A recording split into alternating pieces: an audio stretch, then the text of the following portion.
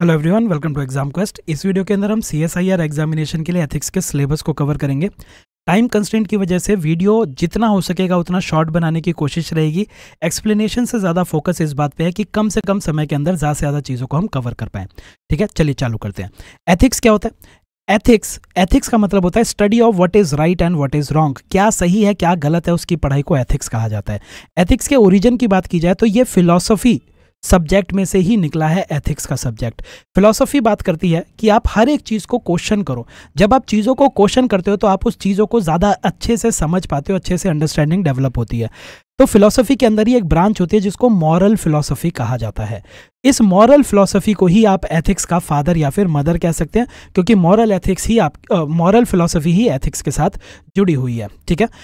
एक बारी इवोल्यूशन का ओवरव्यू ले लेते हैं, फिर इसके अंदर कुछ चीज़ें जिनको डिटेल में करना है, उन चीज़ों को देखते चलेंगे। अगर हम स्टार्टिंग देखें एथिक्स की। तो एथिक्स की स्टार्टिंग होती है एथेंस के अंदर। एथेंस के अंदर आपके थिंकर आते हैं सोक्रेटिस फिर सोक्रेटिस के शिष्य आते हैं प्लाटो फिर प्लाटो के शिष्य आते हैं एरिस्टोटल अगर ईस्टर्न कंट्रीज़ की बोली जाए तो कन्फ्यूशियनिज्म यहाँ पे निकलता है, जो कि एथिक्स के बारे में बात करती है कन्फ्यूशियनिज्म यहाँ पे मॉरल वर्च्यूज़ के बारे में बात की जाएगी। ऐसे एक्शंस लिए जाएँ ताकि सोसाइटी के अंदर हारमोनी बनी रहे। फीलियल पाइटी की बात की जाएगी। पाइटी का मतलब होता है प्योरिटी और फीलियल का मतलब होता है कि आप अपनी रूट से दूर मत जाइए। आपको हमेशा अपनी रूट से लॉयल रहना होता है। बुद्धिज़्म के अंदर मिडल पाथ की बात कही गई थी। ठीक है, अगर रिलीजन की बात की जाए तो जोडाइज़म हो गया क्रिश्चियन हो गया तो जोडाइज़म और क्रिश्चियन ट्रेडिशन के अंदर भी एथिक्स के टेनेंट्स हैं। इस्लाम में कुरान और हादित हो गया। अगर हिंदुइज्म की बात की जाए तो वेदास उपनिषद, भगवद गीता, इन सब के अंदर एथिक्स की बात की गई है। भगवद गीता के अंदर एक टर्म यूज़ की जाती है, निष्काम कर्म। निष्काम कर्म, यानी कि सेल्फलेस सर्विस। सेल्फलेस सर्विस का मतलब होता है कि जब आप कोई काम कर रहे हो, ये मत देखो कि इस काम से आपको कुछ बेनिफिट होगा या नहीं। आप काम सिर्फ़ इसलिए कर रहे हो क्योंकि वो आपकी ड्यूटी है। निष्काम कर्म का जो टेनेंट है टेनेट है, वो आपको यहाँ पे देखने को मिलेगा भगवत गीता के अंदर। मिडिवल टाइम पीरियड के अंदर थॉमस एक्विनास ने कुछ थ्योरी दी थी। थॉमस एक्विनास ने ह्यूमन एक्शन को भी डिफाइन किया था, जिसको हम आगे देखेंगे। अगर आप सिलेबस को ध्यान से देखेंगे तो सिलेबस आपको कहता है एथिक्स इन ह्यूमन एक्शन ठीक है? तो एथिक्स की जो सही स्टडी स्टार्ट होगी वो आपके थॉमस एक्विनास से आप देखेंगे। थॉमस एक्विनास के बाद इरासमस ने ह्यूमनिज्म के बारे में बात की। इरासमस ने इंसानों के ऊपर फोकस करना चालू किया कि इंसानों की डिग्निटी को हमेशा रिस्पेक्ट करना है। इंसानों के रीज़न यानी कि थिंकिंग एबिलिटी को रिस्पेक्ट करना है और हर इंसान की अपनी एक मॉरल रिस्पॉन्सिबिलिटी होती है। इन सारी चीज़ों के बारे में इरासमस बात करते हैं। फिर उसके बाद मॉडर्न थिंकर्स की बात की जाए तो वहाँ पर John Locke Immanuel Kant, Jeremy Bentham और जॉन स्टुअर्ट मिल, इन्होंने कुछ कुछ थ्योरीज डेवलप की थी, जैसे कि यूटिलिटेरियनिज्म, ये सब हम आगे देखेंगे। ठीक है? फिर जॉन पॉल सार्त्रे और एल्बर्ट कामुस ने एग्जिस्टेंशियलिज्म के बारे में बात की। जॉन रॉल्स ने जस्टिस के ऊपर बहुत ज़्यादा डिस्कस किया। जस्टिस का मतलब होता है न्याय। तो न्याय से जुड़ी हुई चीज़ें जॉन रॉल्स ने दी थी। जॉन रॉल्स के जो कॉन्सेप्ट है, उसके अंदर हम पढ़ते हैं, एक तो थ्योरी ऑफ़ जस्टिस, दूसरा पढ़ते हैं वेल ऑफ़ इग्नोरेंस। ठीक है? तो इनके दो स्टेप्स हैं। उन दो स्टेप्स को हम देखेंगे, ठीक है? फिर एथिक्स के अंदर आते हैं कुछ अप्लाइड एथिक्स के पार्ट अप्लाइड एथिक्स के अंदर आपका क्या आ जाएगा? जैसे कि एनवायरमेंटल एथिक्स एनवायरमेंट से डील करते हुए आपको किन किन एथिकल प्रिंसिपल्स को फॉलो करना होता है, इसको एनवायरमेंटल एथिक्स कहते हैं। अब ये जो अप्लाइड एथिक्स है, ये बहुत बड़ी ब्रांच है। इसके अंदर आपको हो सकता है कि कोई टर्म दे दी जाए और उस टर्म से जुड़ा हुआ आपको मीनिंग पूछा जाए। तो आपको ज़्यादा घबराना नहीं है। अप्लाइड एथिक्स किसी भी फ़ील्ड में हो सकती है। जैसे कि एनवायरमेंटल एथिक्स की बात हो रही है। अगर आपकी एक्टिविटी पॉल्यूशन क्रिएट कर रही है तो वो एनवायरमेंटल एथिक्स के अगेंस्ट जा रही है। अगर ग्रीन हाउस गैसेज की एमिशन इंक्रीज हो रही है तो वो एनवायरमेंटल एथिक्स के अगेंस्ट जा रही है। सिमिलरली अगर इंटरनेशनल रिलेशन में एथिक्स की बात की जाए तो आईआर के क्या एथिक्स हो जाएँगे इंटरनेशनल रिलेशन के? कि आपको पूरे देश देश के अंदर नहीं, पूरी दुनिया के अंदर वर्ल्ड के अंदर आपको पीस इंश्योर करना है। इंटरनेशनल ट्रीटीज़ को एग्रीमेंट्स को रिस्पेक्ट करना है। अगर आपने उन्हें साइन किया है तो आपकी ऑब्लिगेशन है उनको फॉलो करने की। आपके अगर कोई डिस्प्यूट हो जाए तो वॉर का सहारा नहीं लेना, आपको आर्बिट्रेशन करनी है। आपको दूसरों की टेरिटरी की रिस्पेक्ट करनी है। ये सारे के सारे आपके इंटरनेशनल रिलेशन के एथिक्स हो जाएँगे। तो ये सब रटने की ज़रूरत नहीं है कॉमन अंडरस्टैंडिंग या ऑप्शंस देख के आपको इसका आंसर करना होगा। ठीक है पोस्ट मॉडर्निज्म क्या होता है? आपके ट्रेडिशनल जो एथिकल फ्रेमवर्क है उसके अंदर कुछ चैलेंजेस थे। उन चैलेंजेस को उभरते हुए आज की डेट में कंटेम्प्रेरी टाइम पीरियड में किस तरह के एथिक्स आपको देखने को मिलते हैं, ठीक है? डिजिटल एथिक्स क्या हो जाएगा कि आज जब हमारी पूरी दुनिया डिजिटल डिवाइसेस को यूज़ कर रही है तो इस टाइम पर डेटा प्रिवेसी कैसी होनी चाहिए? आर्टिफिशियल इंटेलिजेंस अगर जैसे अभी आपने देखा था रश्मिका मंदाना की एक वीडियो डॉक्टर करके फेक वीडियो को सर्कुलेट किया गया। आर्टिफिशियल इंटेलिजेंस की मदद से ऑप्सीन सीन्स जो थे उस वीडियो के अंदर ऐड किए गए। तो ये सारे के सारे एथिक्स के अगेंस्ट जाते हैं। आप टेक्नोलॉजी को यूज़ कर रहे हैं किसी के ऊपर स्पाई करने के लिए तो ये भी अनएथिकल हो जाएगा। तो डिजिटल एथिक्स इन चीज़ों की बात करती है, ठीक है? अप्लाइड एथिक्स के ही हिस्से हैं ये। तो चलिए अब चालू करते हैं। एथेंस के अंदर सबसे पहले हम सॉक्रेटिस की बात करते हैं। सॉक्रेटिस ने जो तरीका बताया, उस तरीके का नाम था सोक्रेटिक मेथड जिसको डायलैक्टिक मेथड भी कहते हैं, ये टर्म आपको याद रखनी है। डायलैक्टिक मेथड के अंदर सोक्रेटिस ये कहते हैं कि हर एक चीज़ के ऊपर इंसानों को कॉन्वर्सेशन करनी चाहिए। खुद से कॉन्वर्सेशन करो, दूसरों के साथ कॉन्वर्सेशन करो, ताकि आप चीज़ों को अच्छे से समझ पाओ। ठीक है, जब आप लोगों से कॉन्वर्सेशन करते हो, खुद से कॉन्वर्सेशन करते हो तो आप खुद को अच्छे से समझ पाते हो। सेल्फ डिस्कवरी होती है और आपकी क्रिटिकल थिंकिंग स्टिमुलेट होती है। आप चीज़ों को एक क्रिटिकल तरीके से देखने लग जाते हो। सॉक्रेटिस ये मानते थे कि हर एक इंसान के अंदर मॉरल नॉलेज मॉरल नॉलेज हमेशा से मौजूद होती है। मॉरल नॉलेज इननेट होती है इनहेरेंट होती है। लेकिन क्योंकि लोग डायलैक्टिक मेथड में इन्वॉल्व नहीं होते, लोग कॉन्वर्सेशन में एंगेज नहीं करते, इसीलिए वो इस मॉरल नॉलेज को सही से समझ नहीं पाते। और जिस चीज़ को आप समझ नहीं पाते, उस चीज़ के बेसिस पर आप एक्शन नहीं ले पाते। तो सॉक्रेटिस कहते थे कि सारी की सारी मॉरल नॉलेज हर एक इंसान के पास है, लेकिन लेकिन इंसान उस मॉरल नॉलेज को तब समझ पाएगा जब वो डायलैक्टिक मेथड सॉक्रेटिक मेथड या फिर कॉन्वर्सेशन के अंदर एंगेज करेगा। अकॉर्डिंग टू सॉक्रेटिस अगर इंसानों को पता है कि क्या चीज़ सही है तो वो सही एक्शन ही लेंगे। अगर कोई इंसान रॉन्ग एक्शन ले रहा है, अगर किसी इंसान का कोई एक्शन गलत है तो वो सिर्फ़ उसकी इग्नोरेंस की वजह से होता है। उसने डायलैक्टिक मेथड में एंगेज नहीं किया, उसने कॉन्वर्सेशन नहीं की, इसीलिए वो अपने मॉरल नॉलेज को सही से समझ नहीं पाया। ठीक है? सॉक्रेटिस ये कहते हैं कि नॉलेज अपने आप में एक वर्च्यू है। वर्च्यू का मतलब होता है desirable qualities which a person should have कि कौन कौन सी क्वालिटी कौन कौन से वैल्यूज़ एक इंसान के पास होने चाहिए, ठीक है?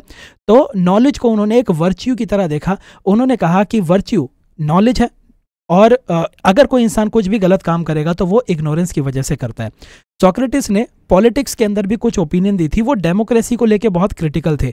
एथेंस के अंदर जो डेमोक्रेसी फॉलो होती थी, उसको लेके सोक्रेटिस ने कहा कि डेमोक्रेसी हमेशा मेजोरिटी की बात मानती है। मेजोरिटी ने जो कह दिया, वो हो जाता है। तो ऐसे में माइनॉरिटीज़ कई बारी माइनॉरिटीज़ के जो वो राइट्स हैं माइनॉरिटीज़ के साथ कुछ गलत चीज़ें हो जाती हैं, उनके राइट्स एक्सप्लॉइट हो जाते हैं। तो इसीलिए सोक्रेटिस डेमोक्रेसी को क्रिटिसाइज करते थे। तो एथेंस के अंदर सोक्रेटिस को एग्जीक्यूट कर दिया गया, उन्हें मार दिया गया। ठीक है? क्योंकि कई बारी सोक्रेटिस ये कहते थे कि अगर मेजोरिटी के बेसिस पर फैसला होगा तो कई बारी मेजोरिटी अनवाइज डिसीज़न भी ले लेते हैं और वो सिर्फ़ अपने बारे में सोचते हैं, वो माइनॉरिटी व्यू को ज़्यादा इंपॉर्टेंस नहीं देते। ठीक है? तो सोक्रेटिस ने डेमोक्रेसी को भी क्रिटिसाइज किया था। अब देखिए, सोक्रेटिस को एग्जीक्यूट कर दिया गया, मार दिया गया तो उनके जो शिष्य थे प्लाटो प्लाटो भी डेमोक्रेसी को क्रिटिसाइज करेंगे। ठीक है? प्लाटो भी डेमोक्रेसी को क्रिटिसाइज करने वाले हैं। तो सोक्रेटिस की समरी अगर देखी जाए, कहाँ से क्वेश्चन आएँगे? सोक्रेटिस को वेस्टर्न फिलोसफी का फादर कहा जाता था, क्योंकि उन्होंने ही पहली बार एथिक्स के ऊपर एथिक्स के प्रिंसिपल्स के ऊपर डिस्कस करना चालू किया। सोक्रेटिक मेथड क्या है? जिसके अंदर स्टूडेंट्स अपनी अंडरस्टैंडिंग को डेवलप करने के लिए चीज़ों को क्वेश्चन करते हैं डायलेक्टिक मेथड में इन्वॉल्व होते हैं, यानी कि कॉन्वर्सेशन करते हैं।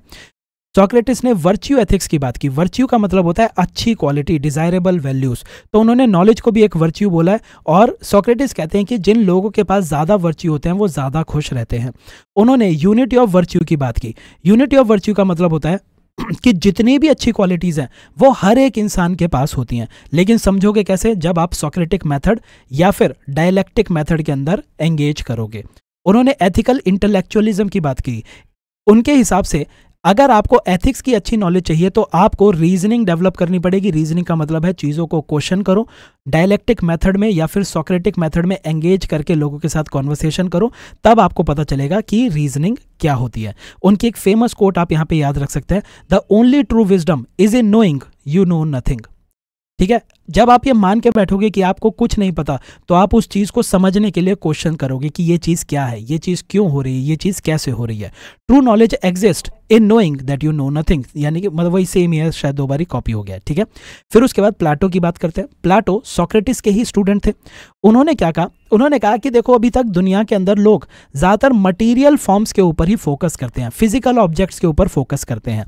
फ़िज़िकल ऑब्जेक्ट्स एग्जिस्ट करते हैं, हमें दिखाई देते हैं, इसीलिए इनके बारे में सोचना आसान होता है। लेकिन लेकिन प्लाटो ने कहा कि आइडियाज़ जो होते हैं, आइडियाज़ दिखाई नहीं देते, वो नॉन मटीरियल फॉर्म के अंदर एग्जिस्ट करते हैं। और यही आइडियाज़ यही आइडियाज़ मटेरियल वर्ल्ड के अंदर सामानों को बनाने के काम आते हैं। तो फ़िज़िकल ऑब्जेक्ट्स क्या हैं? वो इम्परफेक्ट रिफ्लेक्शन होती हैं आइडियल फॉर्म की।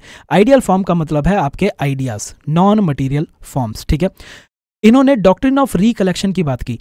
इन्होंने भी सॉक्रेटिस की तरह कहा कि हर एक इंसान के पास जो नॉलेज है, वो नॉलेज ऑलरेडी प्रेजेंट होती है इननेट है इनहेरेंट है। उसके अंदर ही वो नॉलेज ऑलरेडी है। लेकिन जो इंसान इस नॉलेज को याद कर लेते हैं, उसको समझ लेते हैं रिकलेक्ट कर लेते हैं, देखिए, उनके हिसाब से बर्थ के साथ ही आपके पास सारी नॉलेज है। ठीक है?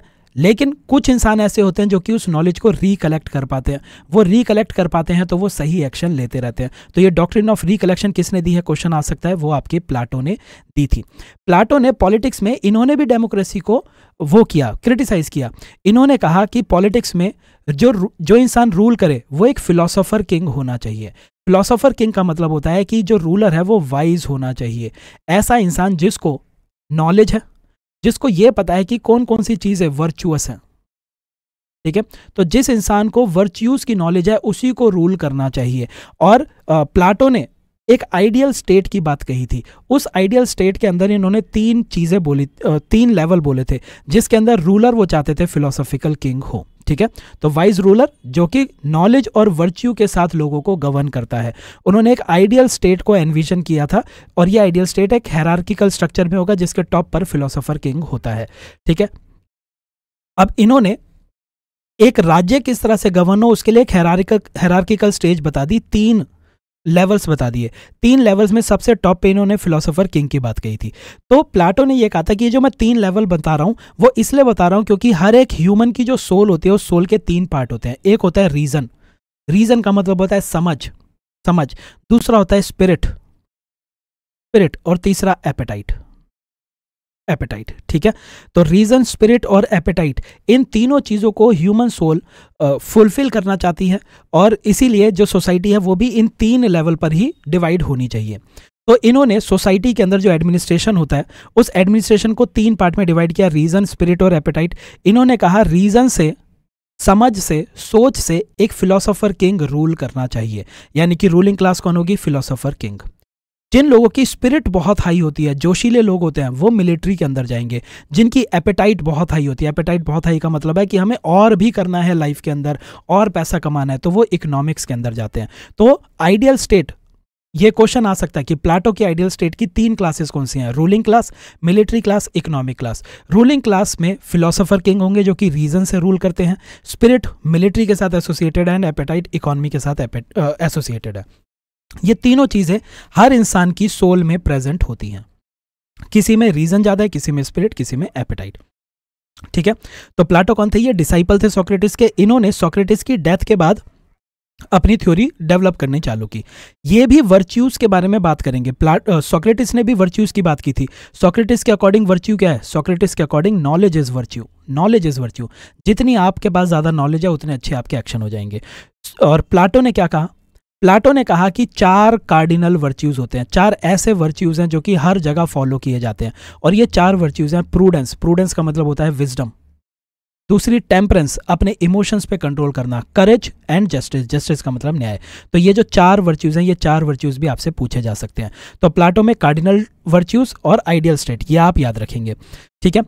एजुकेशन के बारे में प्लाटो कहते हैं कि एजुकेशन का सिस्टम एज और एलिमिनेशन पे बेस्ड होना चाहिए और सबसे टॉप पर एजुकेशन के सबसे परम, चरम पे जो होता है वो फिलोसोफर किंग होता है, जो कि रीजन से रूल करेगा। ठीक है? डेमोक्रेसी को नेगेटिवली देखा। प्लाटो ने भी, क्योंकि सोक्रेटिस को डेमोक्रेसी के अंदर ही मार दिया गया था। वर्च्यूज की बात की जाए तो वर्च्यू जिस भी इंसान के पास वर्च्यूज होते हैं, अच्छी क्वालिटी होती हैं तो वो अपने इन चारों ह्यूमन सोल की जो चार चीज़ सॉरी तीन चीज़ें हैं रीज़न स्पिरिट और एपेटाइट इनके बीच में हारमनी मेंटेन करके रख सकता है। जिस भी इंसान, जो भी इंसान वर्चुअस होगा, अच्छी वैल्यूज़ जिसके पास होंगी, वो रीजन स्पिरिट और एपेटाइट के बीच में हारमनी मेंटेन करके रखेगा। प्लाटो ने जस्ट और अनजस्ट लाइफ के बारे में क्या बोला? जस्ट लाइफ जस्ट लाइफ अपनी इनर हारमनी की वजह से खुश होती है। Inner harmony between reason spirit and appetite ठीक है? और ये अपनी इनर हारमोनी को मेंटेन करके रखती है विद रीजन इनकी फ़ेमस कोट की बात की जाए तो states are as the man they grow out of human characters knowledge becomes evil if they aim to aim if the aim be not virtuous ठीक है? नॉलेज ईविल तब बन जाती है जब हर एक, जब इंसान का एम होता है कि मुझे वर्चुअस रहना ही नहीं है। तो उसकी नॉलेज अपने आप ही ईविल हो जाएगी। इसके बारे में अभी हम डिस्कस करते हैं। ठीक है? फिर उसके बाद आते हैं एरिस्टोटल के ऊपर। एरिस्टोटल प्लाटो के स्टूडेंट थे तो सॉक्रेटिस के बाद प्लाटो प्लाटो के बाद एरिस्टोटल। स्पा से आप याद रख सकते हैं। ठीक है? एरिस्टोटल ने हाइलोमॉर्फिज्म की बात की थी। हाइलोमॉर्फिज्म के अंदर प्लाटो सॉरी, एरिस्टोटल ने प्लाटो की जो थ्योरी थी आइडियल फॉर्म की, ऊपर देखा था ना आइडियल फॉर्म? आइडियल फॉर्म क्या होगा? जिसके अंदर एक रूलिंग क्लास है, एक आपकी मिलिट्री है और एक आपकी इकोनॉमिक क्लास है। रूलिंग क्लास रीजन से रूल करती है, मिलिट्री स्पिरिट से रूल करती है और जो इकोनॉमिक क्लास है, वो एपेटाइट से। रूल करती है। जिस भी इंसान के पास वर्च्यू होंगे, वो इन तीनों के बीच में हारमनी मेंटेन करके रखेगा। हारमनी मेंटेन करके रखता है। ठीक है, ये बात बोली थी प्लाटो ने।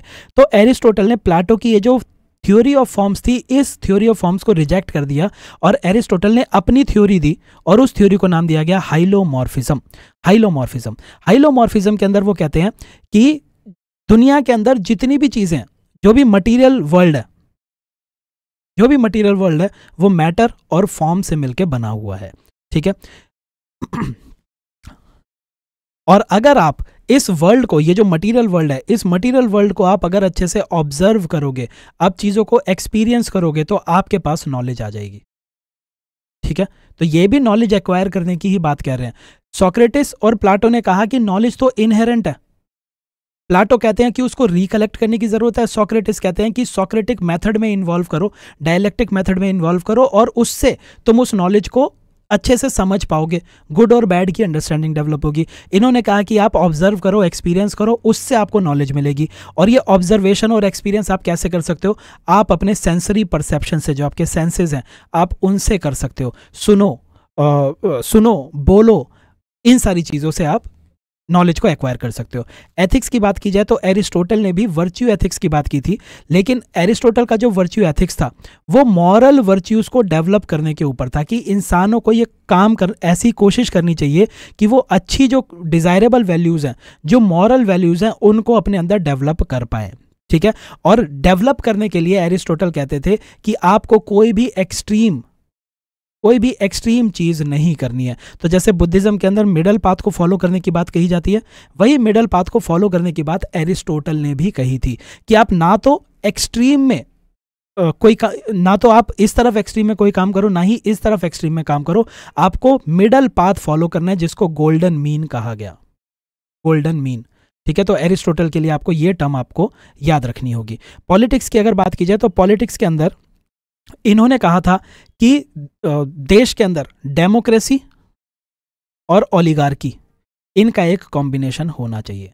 ठीक है? जब डेमोक्रेसी और ओलिगार्की मिडिल क्लास के लिए काम करेगी तो अपने आप देश के अंदर पॉलिटिकल स्टेबिलिटी बनी रहेगी। तो ये कुछ चीज़ें हैं कुछ टर्म्स हैं जहाँ से आपके क्वेश्चंस आ सकते हैं, बहुत ज़्यादा एक्सप्लेनेशन पे नहीं जा रहा हूँ, सिर्फ़ रटते चलिए इन चीज़ों को, ठीक है?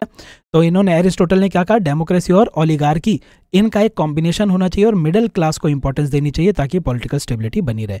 समरी की अगर बात की जाए तो ये प्लाटो के स्टूडेंट थे। इन्होंने एलेक्जेंडर दी ग्रेट को समझाया था, ठीक है? तो एलेक्जेंडर दी ग्रेट को समझाया था।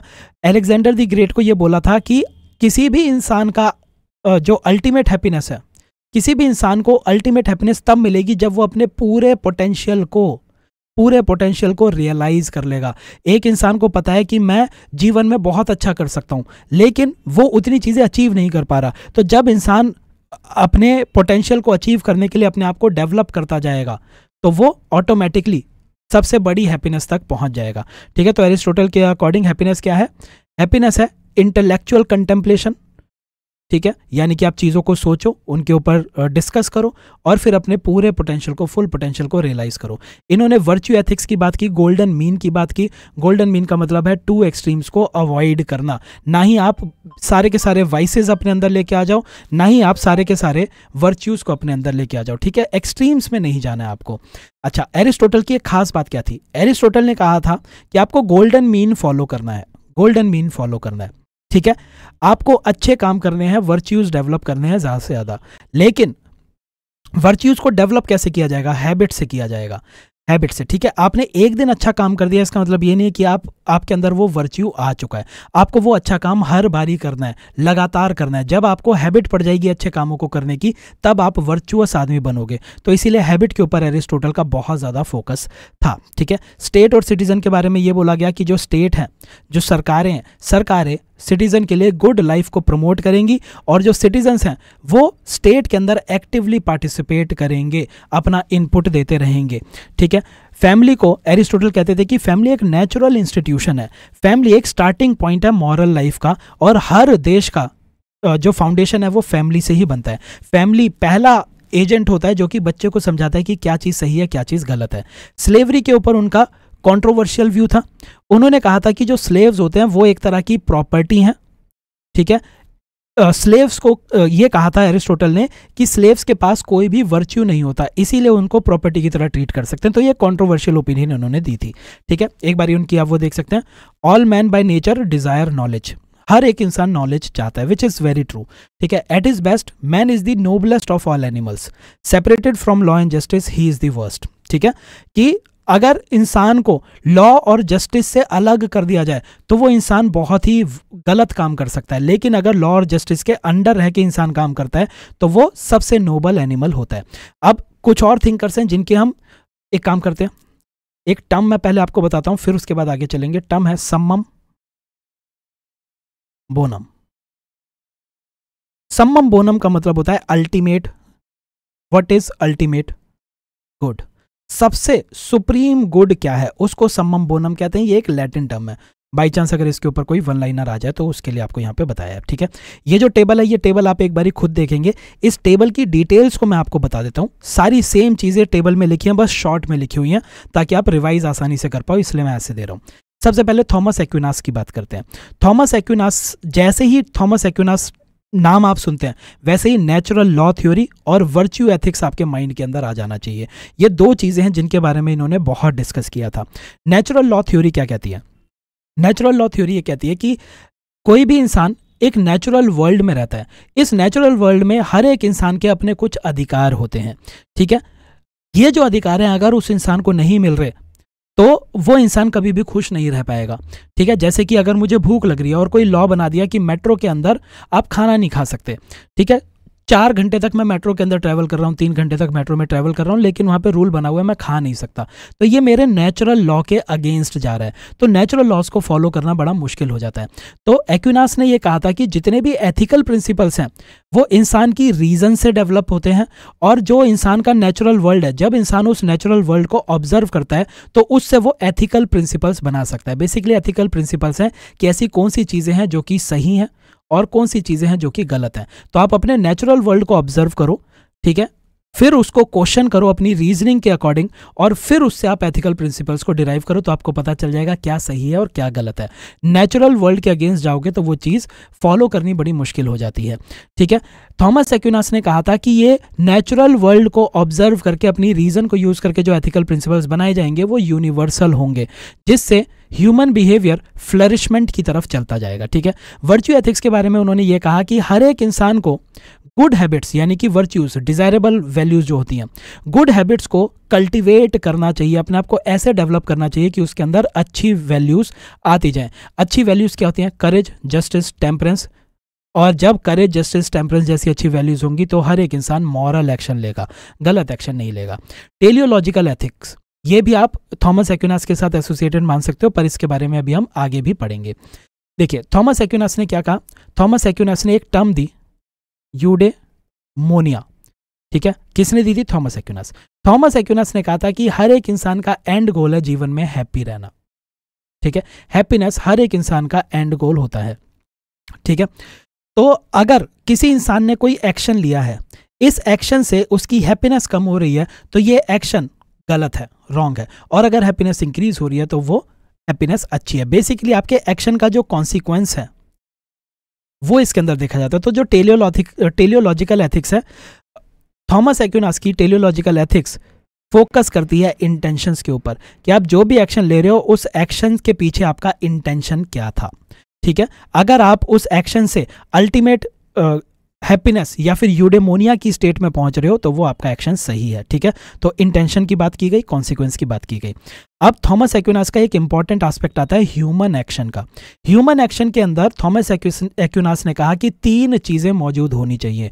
देखिए, एक बच्चा भी बहुत सारे एक्शन लेता है। कई बार बच्चा आपको काट लेता है, ठीक है? कई बार बच्चा आपको काट लेता है तो आप ये कहेंगे कि बच्चा बड़ा ईविल है, या फिर बच्चे के अंदर तो बिल्कुल भी एथिकल प्रिंसिपल्स नहीं है। आप ऐसा नहीं करेंगे। ठीक है आप ऐसा नहीं कहते। मान लीजिए कोई इंसान ऐसा है जो कि मेंटली इल है मेंटली स्ट्रांग नहीं है ठीक है? तो कई बारी जो मेंटली इल पेशेंट होते हैं डिफरेंटली एबल्ड पेशेंट होते हैं वो कई बारी ऐसे एक्शन ले लेते हैं जिससे दूसरों को हार्म पहुँचता है।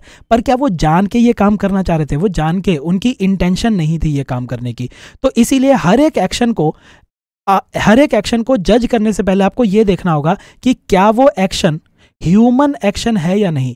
हर एक एक्शन ह्यूमन एक्शन नहीं होता। ह्यूमन एक्शन बनने के लिए जो इंसान एक्शन ले रहा है, उसके पास नॉलेज होनी चाहिए। यानी कि अगर मुझे कोई एक्शन लेना है तो ये एक्शन मेरा डिसीज़न है। मेरे पास ढेर सारी चॉइसेस थी। मैंने अपनी नॉलेज नॉलेज को यूज़ करके ये वाला एक्शन लिया ठीक है? तो जब कोई इंसान नॉलेज यूज़ करके किसी एक्शन को डेलिबरेटली चूज़ करता है तो पहला जो क्राइटेरिया है ह्यूमन एक्शन का वो फुलफिल हो जाता है। दूसरा वॉलेंटरीनेस वॉलेंटरीनेस का मतलब ये है कि अगर कोई इंसान एक्शन ले रहा है लेकिन वो एक्शन फ्रीली नहीं ले पा रहा उसको किसी ने फोर्स किया जैसे कि मेरे आ, सर पे किसी ने बंदूक लगा के ये बोल दिया कि तू जाके बैंक लूटा।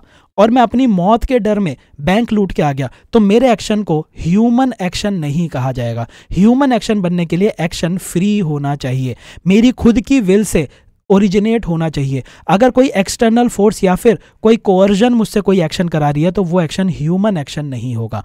ठीक है? और तीसरा उन्होंने कहा फ्री विल फ्री विल का मतलब ये है कि मेरी आज़ादी होनी चाहिए कि मैं उस एक्शन को करूँ या ना करूँ। मेरे पास चॉइस होनी चाहिए, ठीक है? जब मेरे पास चॉइस होगी तो मैं उस एक्शन की मॉरल रिस्पॉन्सिबिलिटी ले सकता हूँ। तो थॉमस एक्यूनास ने कहा कि आप किसी भी एक्शन को सही या गलत, सही या गलत, तभी मानोगे जब वो एक्शन ह्यूमन एक्शन है, ठीक है? ह्यूमन एक्शन की तीन क्वालिटी बता दी कि एक्शन से पहले नॉलेज होनी चाहिए कि मैं क्या कर रहा हूँ। दूसरा वॉलेंटरीनेस होनी चाहिए कि मेरे को कोई दबाव दे के काम नहीं करा रहा और तीसरा, मेरी फ्री विल होनी चाहिए कि मैं जान के खुद वो काम करना चाहता हूँ। ठीक है? तो ही वो एक्शन ह्यूमन एक्शन कराया जाएगा। अब इस ह्यूमन एक्शन के पीछे अगर इंटेंशन या फिर कॉन्सिक्वेंस गलत होता है इस एक्शन का तो फिर वो एक्शन गलत जज किया जाएगा। ठीक है? इंटेंशन या कॉन्सिक्वेंस के बेसिस पर ह्यूमन एक्शन को जज किया जाता है। ठीक है? एक्यूनास ने तीन चीज़ें और लिखी थी, सिर्फ़ इनके नाम आप याद रखेंगे। थॉमस एक्यूनास ने सम्मा थियोलॉजिका लिखी, निकोमेशियन एथिक्स लिखी और कंटेम्प्रेरी वर्च्यू एथिक्स लिखी। ठीक है, ये सिर्फ़ उनके काम का वो एक तरह से लिस्ट है। ठीक है? ये थॉमस एक्यूनास ने कहा था। क्या क्या याद रखेंगे थॉमस एक्यूनास का? Natural law theory. दूसरा, वर्च्यू एथिक्स के बारे में इन्होंने कहा। टेलियोलॉजिकल एथिक्स के बारे में कहा कि इंटेंशन सही होनी चाहिए। फिर इन्होंने ह्यूमन एक्शन के तीन प्रिंसिपल बताए, knowledge, voluntariness and free will. अगर कोई एक्शन इन तीनों चीज़, इन तीन में से कोई एक भी चीज़ किसी एक्शन में नहीं है तो उस एक्शन को ह्यूमन एक्शन नहीं बोल सकते, जैसे कि एक बच्चे का एक्शन बच्चे को नॉलेज ही नहीं होती, या फिर मेंटली इल पेशेंट या फिर अगर किसी इंसान को डरा धमका के कोई काम कराया जा रहा है तो वो ह्यूमन एक्शन नहीं है और आप उस एक्शन के उसको सही है या गलत है, इस चीज़ को आप जज नहीं कर सकते। तभी आप देखेंगे कि अगर कोई बच्चा कोई माइनर है। माइनर अगर कोई क्राइम करता है तो हमारे लॉस के अंदर उसको कम पनिशमेंट मिलती है। वहीं पर अगर कोई अडल्ट क्राइम करता है तो उसको ज़्यादा पनिशमेंट मिलती है, क्योंकि ये माना जाता है कि अडल्ट जो भी एक्शन लेगा, वो ह्यूमन एक्शन है। चाइल्ड ह्यूमन एक्शन नहीं ले पा रहा। ठीक है? अब इरेस्मस की बात कर लेते हैं। इरेस्मस ने इंडिविजुअल कॉन्शियंस के बारे में बात कही। इरेस्मस ह्यूमनिज्म की बात करते हैं ह्यूमन डिग्निटी की बात करते हैं। तो ये कहते हैं कि इंडिविजुअल हर एक इंडिविजुअल का अपना रीज़न है, अपने सोचने की तरीका होता है, उसकी अपनी एक कॉन्शियंस है, अंतरात्मा है, जिसके बेसिस पर वो मॉरल डिसीजंस लेता है। ठीक है? इन्होंने इंसान के ऊपर ज़्यादा फोकस करना चालू किया कि इंसान की रीज़न और कॉन्शियंस उसे मॉरल एक्शन दिलवाती है। इन्होंने प्रैक्टिकल एथिक्स के बारे में बात की कि जो रियल वर्ल्ड इश्यूज़ होते हैं, उसके अंदर किस तरह के एथिक एथिक्स होते हैं, इसके अंदर आपको ज़्यादा नहीं पढ़ना है। ठीक है? इन्होंने क्रिटिसाइज किया कि जब पॉलिटिकल अथॉरिटीज़ या रिलीजियस अथॉरिटीज़ कोई प्रोनाउंसमेंट देती है। कोई प्रोनाउंसमेंट देती है। तो कई बार ये चांस होता है कि रिलीजियस एंड पॉलिटिकल अथॉरिटी अपनी पावर को अब्यूज करने लग जाए। लोग इनको फॉलो कर रहे हैं। अब अगर इन्होंने कोई इमोरल चीज़ का डिसीज़न दे दिया, लोग उसको फॉलो करने लगेंगे। तो इसीलिए वो इसको क्रिटिसाइज करते थे। वो क्या कहते थे? वो कहते थे, आप प्रायोरिटी दो इंडिविजुअल कॉन्शियंस को। हर एक इंसान जब एक्शन करने जाता है तो उसकी खुद की जो कॉन्शियसनेस होती है ठीक है, उसकी जो अंतर आत्मा होती है, वो उसको खुद बताता है, ये काम मत कर, ये गलत है। तो इरासमस ने उसको ज़्यादा फोकस करने की बात कही है, ठीक है? इनकी अगर बुक्स की बात की जाए तो इनकी बुक्स है the praise of folly which is a satire on human vices जो वाइसेस का मतलब होता है बैड हैबिट्स या फिर अनडिजायरेबल वैल्यूज़ दूसरी बुक इन्होंने लिखी है handbook of a Christian soldier ठीक है? और तीसरी बुक इन्होंने लिखी है secondary scholarship on Erasmus ethical thought and context तो अभी तक हमने सोक्रेटिस, प्लाटो, एरिस्टोटल किया, फिर उसके बाद हमने थॉमस एक्यूनास किया। थॉमस एक्यूनास और फिर उसके बाद हमने इनको कवर किया है, ठीक है? इरासमस को कवर किया है, ठीक है? अब हम देख रहे हैं जॉन लॉक। जॉन लॉक ने भी नेचुरल थ्योरी के बारे में ही बात की। नेचुरल थ्योरी के बारे में और किसने बात की थी? थॉमस एक्विनास ने। तो जॉन लॉक भी नेचुरल लॉ थ्योरी की बात करेंगे, ठीक है? वो क्या कहते हैं? जो हमारा नेचुरल वर्ल्ड है हमारे नेचुरल वर्ल्ड में ऑलरेडी कुछ प्रिंसिपल्स एग्जिस्ट करते हैं और हमें नेचुरल वर्ल्ड के उन प्रिंसिपल्स के अकॉर्डिंग ही काम करना चाहिए। थॉमस एक्यूनास भी तो यही कह रहे थे कि नेचुरल वर्ल्ड को आप ऑब्ज़र्व करो और फिर उसके बाद नेचुरल वर्ल्ड को ऑब्ज़र्व करने के बाद आप एथिकल प्रिंसिपल्स बनाओ। लगभग सेम चीज़ जॉन लॉक कह रहे हैं, ठीक है? कि दुनिया के अंदर वो बिलीव करते थे कि दुनिया के अंदर universal moral principles already exist करते हैं और हम अपने रीजन से, अपनी सोच से, अपने एक्सपीरियंस से उन यूनिवर्सल मॉरल प्रिंसिपल्स को रिकॉग्नाइज कर सकते हैं। जब आप यूनिवर्सल मॉरल प्रिंसिपल्स को रिकॉग्नाइज करोगे तो इंडिविजुअल का भी वेलबींग होगा और सोसाइटी में भी हारमोनी रहेगी, ठीक है? तो नेचुरल लॉ के लिए थॉमस एक्यूनास और जॉन लॉक याद रखना है। जॉन लॉक की जो उससे भी इंपॉर्टेंट थ्योरी थी वो थी social contract theory social contract theory का ये मतलब है कि एक समाज के अंदर एक तरफ़ आपकी सरकार है जिसको स्टेट कह देते हैं, दूसरी तरफ़ सिटीजन्स हैं। तो सिटीजन्स क्यों सरकार की बात मान रहे हैं? सिटीजन्स क्यों ये कह रहे हैं कि सरकार जो कानून बनाएगी, हम उन कानूनों को फॉलो करेंगे। सिटीजन्स ये इसलिए कर रहे हैं क्योंकि बदले में सरकार उनको कुछ दे रही है। तो सोशल कॉन्ट्रैक्ट थ्योरी ये कहती है कि इंडिविजुअल्स अपनी रजामंदी देते हैं कि हम गवर्न होंगे ताकि उनका बेनिफिट हो सके। इसके अंदर सिटीजन्स अपने कुछ अधिकारों को गिव अप कर देते हैं। वो लॉज को फॉलो करने की बात कहते हैं। वो कहते हैं कि हम जो भी स्टेट बोलेगी, हम स्टेट के डायरेक्शंस को फॉलो करेंगे। बदले में स्टेट हमें क्या देगा? बदले में स्टेट हमें कुछ अधिकार देगा। स्टेट हमें प्रोटेक्शन देगा। स्टेट इंश्योर करेगा कि सोसाइटी के अंदर न्याय है जस्टिस है। ठीक है, देखिए, अगर सरकारें नहीं होंगी स्टेट एडमिनिस्ट्रेशन नहीं होगा तो उस केस के अंदर कोई भी सिविलाइजेशन सही से काम नहीं कर पाएगी केओस हो जाएगा पूरी की पूरी सोसाइटी के अंदर। और इस केओस में हर एक इंडिविजुअल एक दूसरे को मारने पीटने लग जाएगा, किसी का भी भला नहीं होगा। तो इसीलिए जब सोसाइटीज़ बनने लगी तो ये सोशल कॉन्ट्रैक्ट थ्योरी निकल के आती है जॉन लॉक की, जिसमें यह कहा जाता है कि सिटीजन्स सरकार को पावर दे दे कि सरकार जो बोलेंगी उस तरह से सिटीजन्स रहेंगे, ताकि सरकारें जो एडमिनिस्ट्रेशन एडमिनिस्ट्रेशन इस केओस को कंट्रोल कर सके एनआरकी ना बन पाए। बदले में सरकारें सिटीजन्स को कुछ अधिकार देंगी। सरकारें ये इंश्योर करेंगी कि जस्टिस बना रहे सोसाइटी के अंदर, हर एक इंसान की वेलबींग बनी रहे। तो सिटीजन्स ने कुछ गिव अप किया और स्टेट बदले में सिटीजन्स को कुछ दे रहा है। इसको सोशल कॉन्ट्रैक्ट थ्योरी कहा जाता है। और ये कहा गया कि देखिए सिटीजन्स सरकारों के द्वारा बनाए गए लॉज को फॉलो करेंगे। तो ये जो लॉज हैं, ये लॉज नेचुरल लॉ के साथ अलाइंड होने चाहिए। अगर सरकारों ने कानून बना दिया जो नेचुरल लॉ के अगेंस्ट जाता है तो लोग उस कानून को फॉलो नहीं कर पाएँगे। जैसे अभी मैंने मेट्रो में खाने का एग्जांपल दिया था। लोग अभी भी मेट्रो में खाना खाते हैं even though there is a rule कि आप मेट्रो के अंदर खाना नहीं खा सकते। लेकिन तीन घंटे की जर्नी है, किसी की डायबिटीज़ है, किसी की शुगर लो हो रही है, किसी का बीपी लो हो रहा है तो क्या वो खाना नहीं खाएगा? वो बिल्कुल खाएगा खाना। तो नेचुरल लॉ के साथ अलाइंड होने चाहिए स्टेट के लॉ तो कोई भी लॉ जस्ट लॉ तब बनेगा। जस्ट लॉ का मतलब एक फेयर कानून। ठीक है? कोई भी कानून जस्ट तब कहलाया जाएगा जब वो नेचुरल लॉ के साथ अलाइंड है और वो लोगों के अधिकारों को प्रोटेक्ट करता है। जॉन लॉक ने इंडिविजुअल राइट्स के ऊपर बहुत ज़्यादा एम्फेसिस दिया था। जैसे कि लोगों के पास फंडामेंटल राइट होना चाहिए लाइफ का लिबर्टी का प्रॉपर्टी का। उन्होंने कहा था कि कुछ राइट्स ऐसे हैं जो कि इंसानों के जो कि इंसानों के लिए इन एलियनेबल हैं। यानी कि आप इन अधिकारों को सेपरेट नहीं कर सकते। बहुत इंपॉर्टेंट है। Social contract theory John Locke की और emphasis on individual rights is very important ठीक है? तो जॉन लॉक कहते हैं कि कुछ अधिकार इनहेरेंट होते हैं। हर एक इंसान के बर्थ से वो अधिकार उसको मिले हुए हैं। इन अधिकारों को आप उससे सेपरेट नहीं कर सकते। ठीक है? कोई भी कानून बनाओगे तो वो नेचुरल लॉ के साथ अलाइंड होना चाहिए। ठीक है? उन्होंने कहा कि जो भी एथिकल एक्शंस हैं, वो ये जो इंडिविजुअल के अधिकार हैं, जो कि इन एलियनेबल हैं, इन अधिकारों को रिस्पेक्ट करेंगे और समाज में न्याय जस्टिस फेयरनेस एंश्योर करेंगे। फेयरनेस एंश्योर करेंगे। जॉन लॉक ने ये कहा कि जो मोरालिटी होती है what is right and what is wrong morality का भी मतलब वही है। मोरालिटी जो होती है, वो एक्सपीरियंस और रीजन से डिराइव की जाती है। कोई भगवान ने ऐसी चीज़ें नहीं बोली हुई जिनको फॉलो करके आप एथिकल बन जाओगे। आपके अपने एक्सपीरियंस और आपकी अपनी सोच से आप मोरालिटी को डेवलप कर सकते हो, ठीक है? तो डिवाइन रेवलेशन या फिर इंट्यूशन को इन्होंने रिजेक्ट किया था। इन्होंने कहा था कि जो मॉरल नॉलेज है मॉरल नॉलेज जब कोई इंसान एक्शन लेता है तो इस एक्शन का कोई कॉन्सिक्वेंस होगा। सोसाइटी के ऊपर कुछ इम्पैक्ट होगा। जब हम अपने एक्शन के इन इम्पैक्ट को अच्छे से पढ़ते हैं तो उसी एक्सपीरियंस से, उसी रीजन से हम समझते हैं कि क्या चीज़ मॉरल है और क्या चीज़ इमोरल है। तो जॉन लॉक ने एथिक्स या फिर मॉरल प्रिंसिपल्स को बनाने के लिए एक्सपीरियंस की बात कही। आपके एक्शंस के कॉन्सिक्वेंसेस को आप अपने रीजन और एक्सपीरियंस से समझो। ठीक है? अगर इनके कामों की बात की जाए तो जॉन लॉक ने लिखी थी टू ट्रिटाइसिस ऑफ़ गवर्नमेंट जिसके अंदर वो एक्सप्लोर करते हैं नेचुरल लॉ को सोशल कॉन्ट्रैक्ट को और जस्ट गवर्नमेंट को। ये आप अच्छे से याद रख लीजिएगा जॉन लॉक के natural law social contract just government emphasis on individual right and morality which is not coming from a divine source which is not coming from intuition but morality which is coming from experience and reason आपके actions के consequence से आप चीज़ों को समझो। दूसरी जो उन्होंने बुक लिखी थी, उसका नाम था ऐसे concerning human understanding examines the role of experience and reason in knowledge acquisition knowledge को आप एक्वायर करेंगे कैसे? रीजन और एक्सपीरियंस को यूज़ करके। तीसरी इन्होंने लिखी थी सेकेंडरी स्कॉलरशिप जिसके अंदर इन्होंने अलग अलग चीज़ों को इंटरप्रेट किया था। ठीक ठीक है? सिर्फ़ नाम आपको याद रखना है। अब जॉन लॉक इतने ज़्यादा इंस्पिरेशनल थे। जॉन लॉक ने किसकी बात की? इन्होंने इंडिविजुअल राइट्स की बात करी।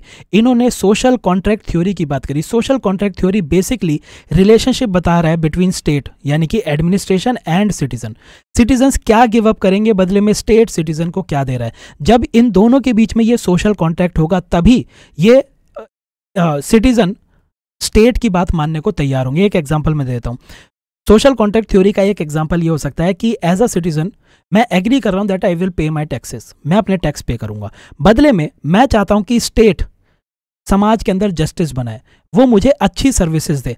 अब अगर मान लीजिए मैं स्टेट में रह रहा हूँ, मैं अपना टैक्स सही से पे कर रहा हूँ अपने देश के अंदर, लेकिन समाज में जस्टिस नहीं है, मैं खुश नहीं हूँ तो ये सोशल कॉन्ट्रैक्ट थ्योरी को ब्रीच किया जा रहा है। ठीक है तो ये क्रिटिसिज्म हम किसी भी गवर्नमेंट की कर सकते हैं आज की डेट में कि वो सोशल कॉन्ट्रैक्ट थ्योरी के अगेंस्ट काम कर रही है, क्योंकि वो समाज के अंदर वो चीज़ें हमें नहीं दे रही जिसके बदले में हमने ये सोशल कॉन्ट्रैक्ट किया था। ठीक है, अब जॉन लॉक ने ये जो इतनी सारी चीज़ें बोली हैं, बहुत अच्छी अच्छी चीज़ें बोली जॉन लॉक ने इंस्पायर किया इमैनुअल कांत को और मिल को, और इन दोनों ने भी आगे जाके एथिक्स के अंदर कुछ कुछ काम किए। तो चलिए, पहले अब इमैनुअल कांत के बारे में बात कर लेते हैं। इमैनुअल कांत ने ये जो कुछ टर्म्स हैं, जो थिंकर्स के साथ एसोसिएटेड हैं, इसीलिए मैंने पॉइंट्स में वो टर्म्स दिए हैं। इन टर्म्स को आपको रीड करके जाना है। चीज़ें भले ही आप बहुत अच्छे से ना समझें, लेकिन ये टर्म्स आपको याद होनी चाहिए, ठीक है? इमैनुअल कांत की, पहली टर्म जो आप याद रखेंगे कांत की, वो है कैटेगोरिकल इम्पेरेटिव कैटेगोरिकल इम्पेरेटिव ठीक है? इसमें कांत कहते हैं कि हर एक इंसान एक्शन लेता है, और हर एक्शन के पीछे कोई ना कोई प्रिंसिपल इन्वॉल्व होता है। तो कांत कहते हैं कि जब भी इंसान कोई एक्शन ले रहा है तो उसको ये देखना है कि उसके पीछे जो प्रिंसिपल इन्वॉल्व है, क्या ये प्रिंसिपल यूनिवर्सल है? क्या ये प्रिंसिपल हर एक इंसान यूज़ कर सकता है या ये नहीं कर सकता? अगर अगर जो आप एक्शन ले रहे हैं, उसके पीछे जो प्रिंसिपल इन्वॉल्व है, वो यूनिवर्सलाइजेबल है। यानी कि हर एक इंसान सिमिलर सिचुएशन में सेम एक्शन लेगा। तो इसका मतलब ये है कि आपका एक्शन करेक्ट है, आपका एक्शन एथिकल है। इसको कैटेगोरिकल इंपेरेटिव कहते हैं, ठीक है? कहाँ तक सही है, कहाँ तक गलत है, उस डिबेट में आपको पढ़ने की ज़रूरत नहीं, वो यूपीएससी एक्सपीरियंस के लिए। ठीक है? आप सिर्फ़ इतना याद रखिए कैटेगोरिकल इंपेरेटिव कांत ने कहा, कांत के अकॉर्डिंग वो एक्शन लेना है जो कि यूनिवर्सलाइजेबल मैक्सिम्स या फिर प्रिंसिपल्स पर बेस्ड है। ऐसे रूल्स बनाओ जिसको हर एक इंसान फॉलो कर सके सिमिलर सिचुएशन में। यानी कि आपने कोई रूल बना दिया कि ए सिचुएशन के अंदर ये एक्शन लेना है। अगर ये एक्शन हर एक इंसान इस सिचुएशन में ले सकता है तो यानी कि एक्शन आपने सही बनाया है। तो जब इस तरह के रूल्स बनाए जाएँगे तो उससे सोसाइटी में फेयरनेस और रिस्पेक्ट फॉर ह्यूमैनिटी आएगी। अब कांत जो है, वो डिओन्टोलॉजिकल एथिक्स से बिलोंग करते हैं। हमने ऊपर एक टेलियोलॉजिकल स्कूल देखा था। टेलियोलॉजिकल स्कूल सिंपल भाषा में। टेलियोलॉजिकल स्कूल ये कहता है कि कोई भी एक्शन तब एथिकल होगा जब उसका कॉन्सिक्वेंस सही निकले। ठीक है, आपने कोई एक्शन लिया, उससे जो भी कॉन्सिक्वेंस निकल रहा है, अगर ये कॉन्सिक्वेंस अच्छा है तो एक्शन राइट है। अगर कॉन्सिक्वेंस खराब निकला तो ये एक्शन रॉन्ग माना जाएगा। डिओंटोलॉजिकल स्कूल कहता है कि आपको कॉन्सिक्वेंसेज की चिंता नहीं करनी है। आपको ये देखना है कि आप एक्शन क्यों ले रहे हो। आप एक्शन क्यों ले रहे हो। अगर कोई भी एक्शन आप इसलिए ले रहे थे क्योंकि वो आपकी ड्यूटी थी वो काम करने की आपकी ड्यूटी थी तो आपका एक्शन सही है, ठीक है? तो बेसिकली टेलियोलॉजिकल स्कूल कहेगा कॉन्सिक्वेंस क्या है? और डिओंटोलॉजिकल स्कूल कहेगा कि आप जो एक्शन ले रहे थे, उसके पीछे आपकी इंटेंशन क्या थी? क्या किसी ड्यूटी की वजह से आपने एक्शन लिया था? अगर हाँ ड्यूटी की वजह से लिया था तो फिर वो एक्शन एकदम सही है। तो डिओंटोलॉजिकल स्कूल रूल्स के ऊपर फोकस करता है कि जो रूल्स बने हुए हैं, आपको उन रूल्स को फॉलो करना है। अगर रूल्स आपको एक्स वाई जेड एक्शन लेने को कह रहे हैं तो आप वो एक्शन ले लो। आपको ये देखने की ज़रूरत नहीं है कि इस एक्शन से क्या कॉन्सिक्वेंस निकलेगा। ठीक है? जबकि टेलियोलॉजिकल स्कूल क्या कहता है कि आपने जो एक्शन ले लिया, अगर कॉन्सिक्वेंस गलत निकला तो आपका एक्शन गलत है, ठीक है? तो डिओंटोलॉजिकल स्कूल रूल्स के ऊपर फोकस करेगा।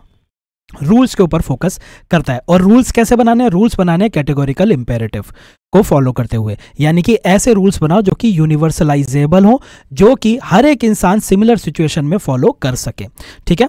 तो मॉरल वर्थ किस पे डिपेंडेंट होगी? नॉट ऑन कॉन्सिक्वेंस ठीक है? इसके अंदर कैटेगोरिकल इंपेरेटिव को रिस्पेक्ट करना है। कोई भी एक्शन मॉरली गुड तब होगा जब उस एक्शन को यूनिवर्सली अप्लाई किया जा सके बिना किसी कॉन्ट्राडिक्शन के। ठीक है? और यूनिवर्सली अप्लाई किया जा सके या फिर किसी रूल्स की वजह से वो काम बनाया जाए। इसके अंदर फ्री विल के बारे में कांत ने बोला कि इंसान के पास फ्री विल होती है जिससे वो चूज़ कर सकता है कि उसको कौन सा एक्शन लेना है। और फ्री विल वो अपनी एक्सरसाइज करता है अपने रीजन के बेसिस पर, अपनी मॉरल ड्यूटी के बेसिस पर। उसको एक ड्यूटी दी गई थी, उस ड्यूटी को फुलफिल करने के लिए उसने एक्शन लिया है। ठीक है? अपनी मर्ज़ी से या फिर किसी एक्सटर्नल प्रेशर में नहीं लिया ड्यूटी की वजह से लिया है। तो यहाँ पे रूल्स और ड्यूटी के ऊपर फोकस है। ठीक है? ऑटोनमी ऑटोनमी के लिए कहा, इंसान जो है वो ऑटोनोमस एजेंट है, लेकिन उसको हर बारी रूल्स को फॉलो करना है यूनिवर्सल मॉरल लॉज को फॉलो करना है ह्यूमैनिटी की रिस्पेक्ट करनी है, ठीक है? डिओंटोलॉजिकल स्कूल अगर ये सब पूरा आपको याद नहीं रखना तो ये ज़रूर आप याद रखेंगे कि जो डिओंटोलॉजिकल स्कूल है, वो एम्फेसाइज करता है ड्यूटी के ऊपर राइट्स के ऊपर और यूनिवर्सल प्रिंसिपल्स के ऊपर। यूनिवर्सल प्रिंसिपल्स आपके कैटेगोरिकल इंपेरेटिव से आते हैं कैटेगोरिकल इंपेरेटिव से, ठीक है? ये भी क्रिटिकल थिंकिंग की बात कहेंगे, ठीक है? इनकी और अगर किताबों की बात की जाए तो इन्होंने लिखी थी groundwork of the metaphysics of morals दूसरी लिखी थी क्रिटिक ऑफ़ प्रैक्टिकल रीजंस तीसरी लिखी थी सेकेंडरी स्कॉलरशिप ठीक है? इमैनुअल कांत की सिर्फ़ आप डिओंटोलॉजिकल थ्योरी को अच्छे से याद रखेंगे और कैटेगोरिकल इंपेरेटिव को आप अच्छे से याद रखेंगे। ठीक है? फिर कांत के बाद आते हैं जेरेमी बेंथम जेरेमी बेंथम ने एक कॉन्सेप्ट के ऊपर काम किया, उस कॉन्सेप्ट का नाम था यूटिलिटेरियनिज्म यूटिलिटेरियनिज्म का मतलब होता है कि एक ऐसी थ्योरी जिसमें हम we want happiness of maximum people maximum happiness maximum happiness of greatest number of people maximum happiness of greatest number of people यानी कि आपको वो एक्शन लेना है जिसमें ज़्यादा लोगों को खुशी मिल रही है। ठीक है? या फिर एक, अगर इसके लिए एक केस स्टडी की जाती है सिंपल सी। मान लीजिए या चलिए, छोड़िए केस स्टडी में टाइम जाएगा टाइम में नहीं जाते, सिर्फ़ थ्योरी के ऊपर ही फोकस करते हैं। जेरेमी बेंथम यूटिलिटेरियनिज्म की बात करते हैं। यूटिलिटेरियनिज्म का सिंपल सी थ्योरी है कि आप वो एक्शन लोगे जिसमें ज़्यादा से ज़्यादा लोगों को हैप्पीनेस मिले। Maximum happiness of greatest number of people इसको यूटिलिटेरियनिज्म कहते हैं। Jeremy Bentham is associated with this इसके लिए उन्होंने जो अपने कोर आइडियाज़ डेवलप किए थे, उसके अंदर वो चार चीज़ों की बात करते हैं। एक है हेडोनिस्टिक कैलकुलस हेडोनिस्टिक कैलकुलस का मतलब होता है कि जब आप कोई, जो कोई भी आप काम कर रहे हैं, उस काम से या तो आपको पेन हो रहा होगा या फिर आपको प्लेजर मिल रहा होगा। आपको ऐसे काम करने हैं जिसमें मैक्सिमम नंबर ऑफ़ पीपल को मैक्सिमम प्लेजर मिले और मैक्सिमम नंबर ऑफ़ पीपल का पेन जो है वो कम से कम हो पाए। इसको हेडोनिस्टिक कैलकुलस कहा जाता है। बेंथम ने कहा कि जो ह्यूमंस हैं, वो अपने प्लेजर को मैक्सिमाइज करना चाहते हैं और पेन को मिनिमाइज करना चाहते हैं। दूसरा इन्होंने प्रिंसिपल ऑफ़ यूटिलिटी की बात कही थी। प्रिंसिपल ऑफ़ यूटिलिटी का मतलब है कि अगर कि कोई भी एक्शन मॉरली राइट एक्शन तब कहलाया जाएगा जब वो ग्रेटेस्ट हैप्पीनेस लेके आएगा to the greatest number of people यानी कि यूटिलिटेरियनिज्म यूटिलिटेरियनिज्म ये बेंथम की थ्योरी है। तीसरा इन्होंने सोशल कॉन्ट्रैक्ट की बात कही थी। सोशल कॉन्ट्रैक्ट ऑलमोस्ट सिमिलर आपको देखने को मिलेगा कि इंडिविजुअल्स अपनी मर्ज़ी से, अपनी मर्ज़ी से कहते हैं कि हाँ हम स्टेट के थ्रू गवर्न करने के लिए राज़ी हैं। क्यों? क्योंकि जब स्टेट हमें गवर्न करेगा तो हमें हैप्पीनेस मिलेगी। ठीक है? हैप्पीनेस मिलेगी। इम्पार्शलिटी की बात की गई। इसके अंदर इम्पार्शलिटी नॉट वेरी इंपॉर्टेंट बस रीड कर लीजिएगा। ठीक है? यूटिलिटेरियनिज्म आपको अच्छे से याद रखना है। जेरेमी बेंथम का बहुत ही इंपॉर्टेंट प्रिंसिपल है और हेडोनिस्टिक कैलकुलस सिंपल सा आपसे पूछा जाएगा हेडोनिस्टिक कैलकुलस और यूटिलिटेरियनिज्म के बारे में कौन बात करता है? प्रिंसिपल ऑफ़ यूटिलिटी के बारे में कौन बात करता है? ठीक है? तो ये आपको याद रखनी है। इस, इन्होंने क्या क्या काम लिखे थे? An introduction to the principles of morals and legislation दूसरा यूटिलिटेरियनिज्म ठीक है? जॉन स्टुअर्ट मिल की है पर वो ये वाली, ठीक है? ओके एडिशनल पॉइंट्स के अंदर। ठीक है, और बाकी चीज़ों को आप इग्नोर कर सकते हैं नॉट वेरी इंपॉर्टेंट टाइम मिले तो रीड कीजिए अदरवाइज़ इग्नोर अब जॉन स्टुअर्ट मिल पे आ जाते हैं। John Stuart Mill was inspired by Jeremy Bentham और जेरेमी बैंथम की थ्योरी पर बेस्ड ही जॉन स्टुअर्ट मिल ने यूटिलिटेरियनिज्म लिखा था, ये वाली बुक ठीक है जॉन स्टुअर्ट मिल ने जेरेमी बैंथम की यूटिलिटेरियनिज्म थ्योरी को और भी ज़्यादा डेवलप किया, उसको और भी ज़्यादा रिफाइन किया। जेरेमी बैंथम ने थ्योरी दी थी यूटिलिटेरियनिज्म की यूटिलिटेरियनिज्म की। ठीक है? इसको रिफाइन किया जॉन स्टुअर्ट मिल्स ने और उन्होंने थ्योरी दी रिफाइंड यूटिलिटेरियनिज्म रिफाइंड यूटिलिटेरियनिज्म ठीक है? इंस्पायर्ड लेकिन वो उसी से ही थे। तो इसके अंदर वो क्या कहते हैं? वो कहते हैं कि आप सिर्फ़ और सिर्फ़ क्वांटिटी के बेसिस पर हैप्पीनेस को नहीं देख सकते। आप सिर्फ़ और सिर्फ़ क्वांटिटी के बेसिस पर यूटिलिटी को या फिर यूटिलिटेरियनिज्म को कैलकुलेट नहीं कर सकते। हमें हायर लेवल के प्लेजर देखने देखिए, कुछ चीज़ें ऐसी हैं जो कि हमें जो प्लेजर देती हैं, वो प्लेजर हमें ज़्यादा इंपॉर्टेंट फील होता है। या फिर मैं एक एग्जांपल देता हूँ। मैं एक मिडिल क्लास आदमी, ठीक है? मेरे पास अगर सौ रुपये आ गए, ठीक है? मैं खुश होऊँगा, ये मेरे को प्लेजर दे रहा है, ये मुझे पेन नहीं दे रहा। लेकिन अगर अगर मैं सोसाइटी के अंदर हमारी प्रेस्टीज इंप्रूव हो जाए किसी वजह से। तो यहाँ पे इस टाइम पर मेरे को कोई पैसा नहीं मिल रहा, लेकिन इस टाइम पर मुझे जो प्लेजर फील होगा, वो प्लेजर ज़्यादा इंपॉर्टेंट है as compared to the pleasure of getting hundred more rupees ठीक है? तो इन्होंने कहा था कि कुछ प्लेजर ऐसे होते हैं जो हायर लेवल के प्लेजर होते हैं। तो हमें हायर लेवल के प्लेजर को अटेन करने की कोशिश करनी चाहिए। तो हायर लेवल के प्लेजर को इन्होंने इंटेलेक्चुअल प्लेजर की बात कही थी। ठीक है? इन्होंने भी प्रिंसिपल ऑफ़ यूटिलिटी की बात की थी which is similar to Bentham's idea लेकिन बैंथम के आइडिया में इन्होंने क्या कह दिया कि प्लेजर सिर्फ़ और सिर्फ़ क्वांटिटी पे मत क्वांटिटी पे मत चेक करो क्वालिटी भी देखो कि कौन सा प्लेजर ज़्यादा इंपॉर्टेंट है लोगों को, ठीक है? जेरेमी बैंथम ने हेडोनिस्टिक कैलकुलस की बात की थी हेडोनिस्टिक कैलकुलस और जो जॉन स्टुअर्ट मिल है, इन्होंने हार्म प्रिंसिपल की बात की थी। हार्म प्रिंसिपल क्या कहता है? हार्म प्रिंसिपल कहता है कि हर एक इंसान के पास अधिकार है, ठीक है? अधिकार है, चाहे वो कुछ भी बोले, चाहे वो कोई भी धर्म फॉलो करे, ये जो राइट्स हैं, वो इन राइट्स को तब तक एक्सरसाइज कर सकता है जब तक कि वो दूसरों को हार्म ना करे। ठीक है? यानी कि लोगों के अधिकार वहाँ पे खत्म होते हैं, जहाँ पे वो दूसरों को हार्म करना चालू कर देते हैं। ये हार्म प्रिंसिपल है। ठीक है? तो इन्होंने क्या कहा? इंडिविजुअल्स के पास बेसिक लिबर्टी है, जैसे कि freedom of speech and religion ठीक है? लेकिन ये वो तब तक एक्सरसाइज करेंगे जब तक कि वो दूसरों को हार्म ना करने लग जाए। हेडोनिस्टिक कैलकुलस किसका था? जेरेमी बेंथम का। हार्म प्रिंसिपल किसका है? जॉन स्टुअर्ट मिल का। दोनों की थ्योरी जो है वो काफ़ी हद तक सिमिलर आपको देखने को मिलेगी। ठीक है?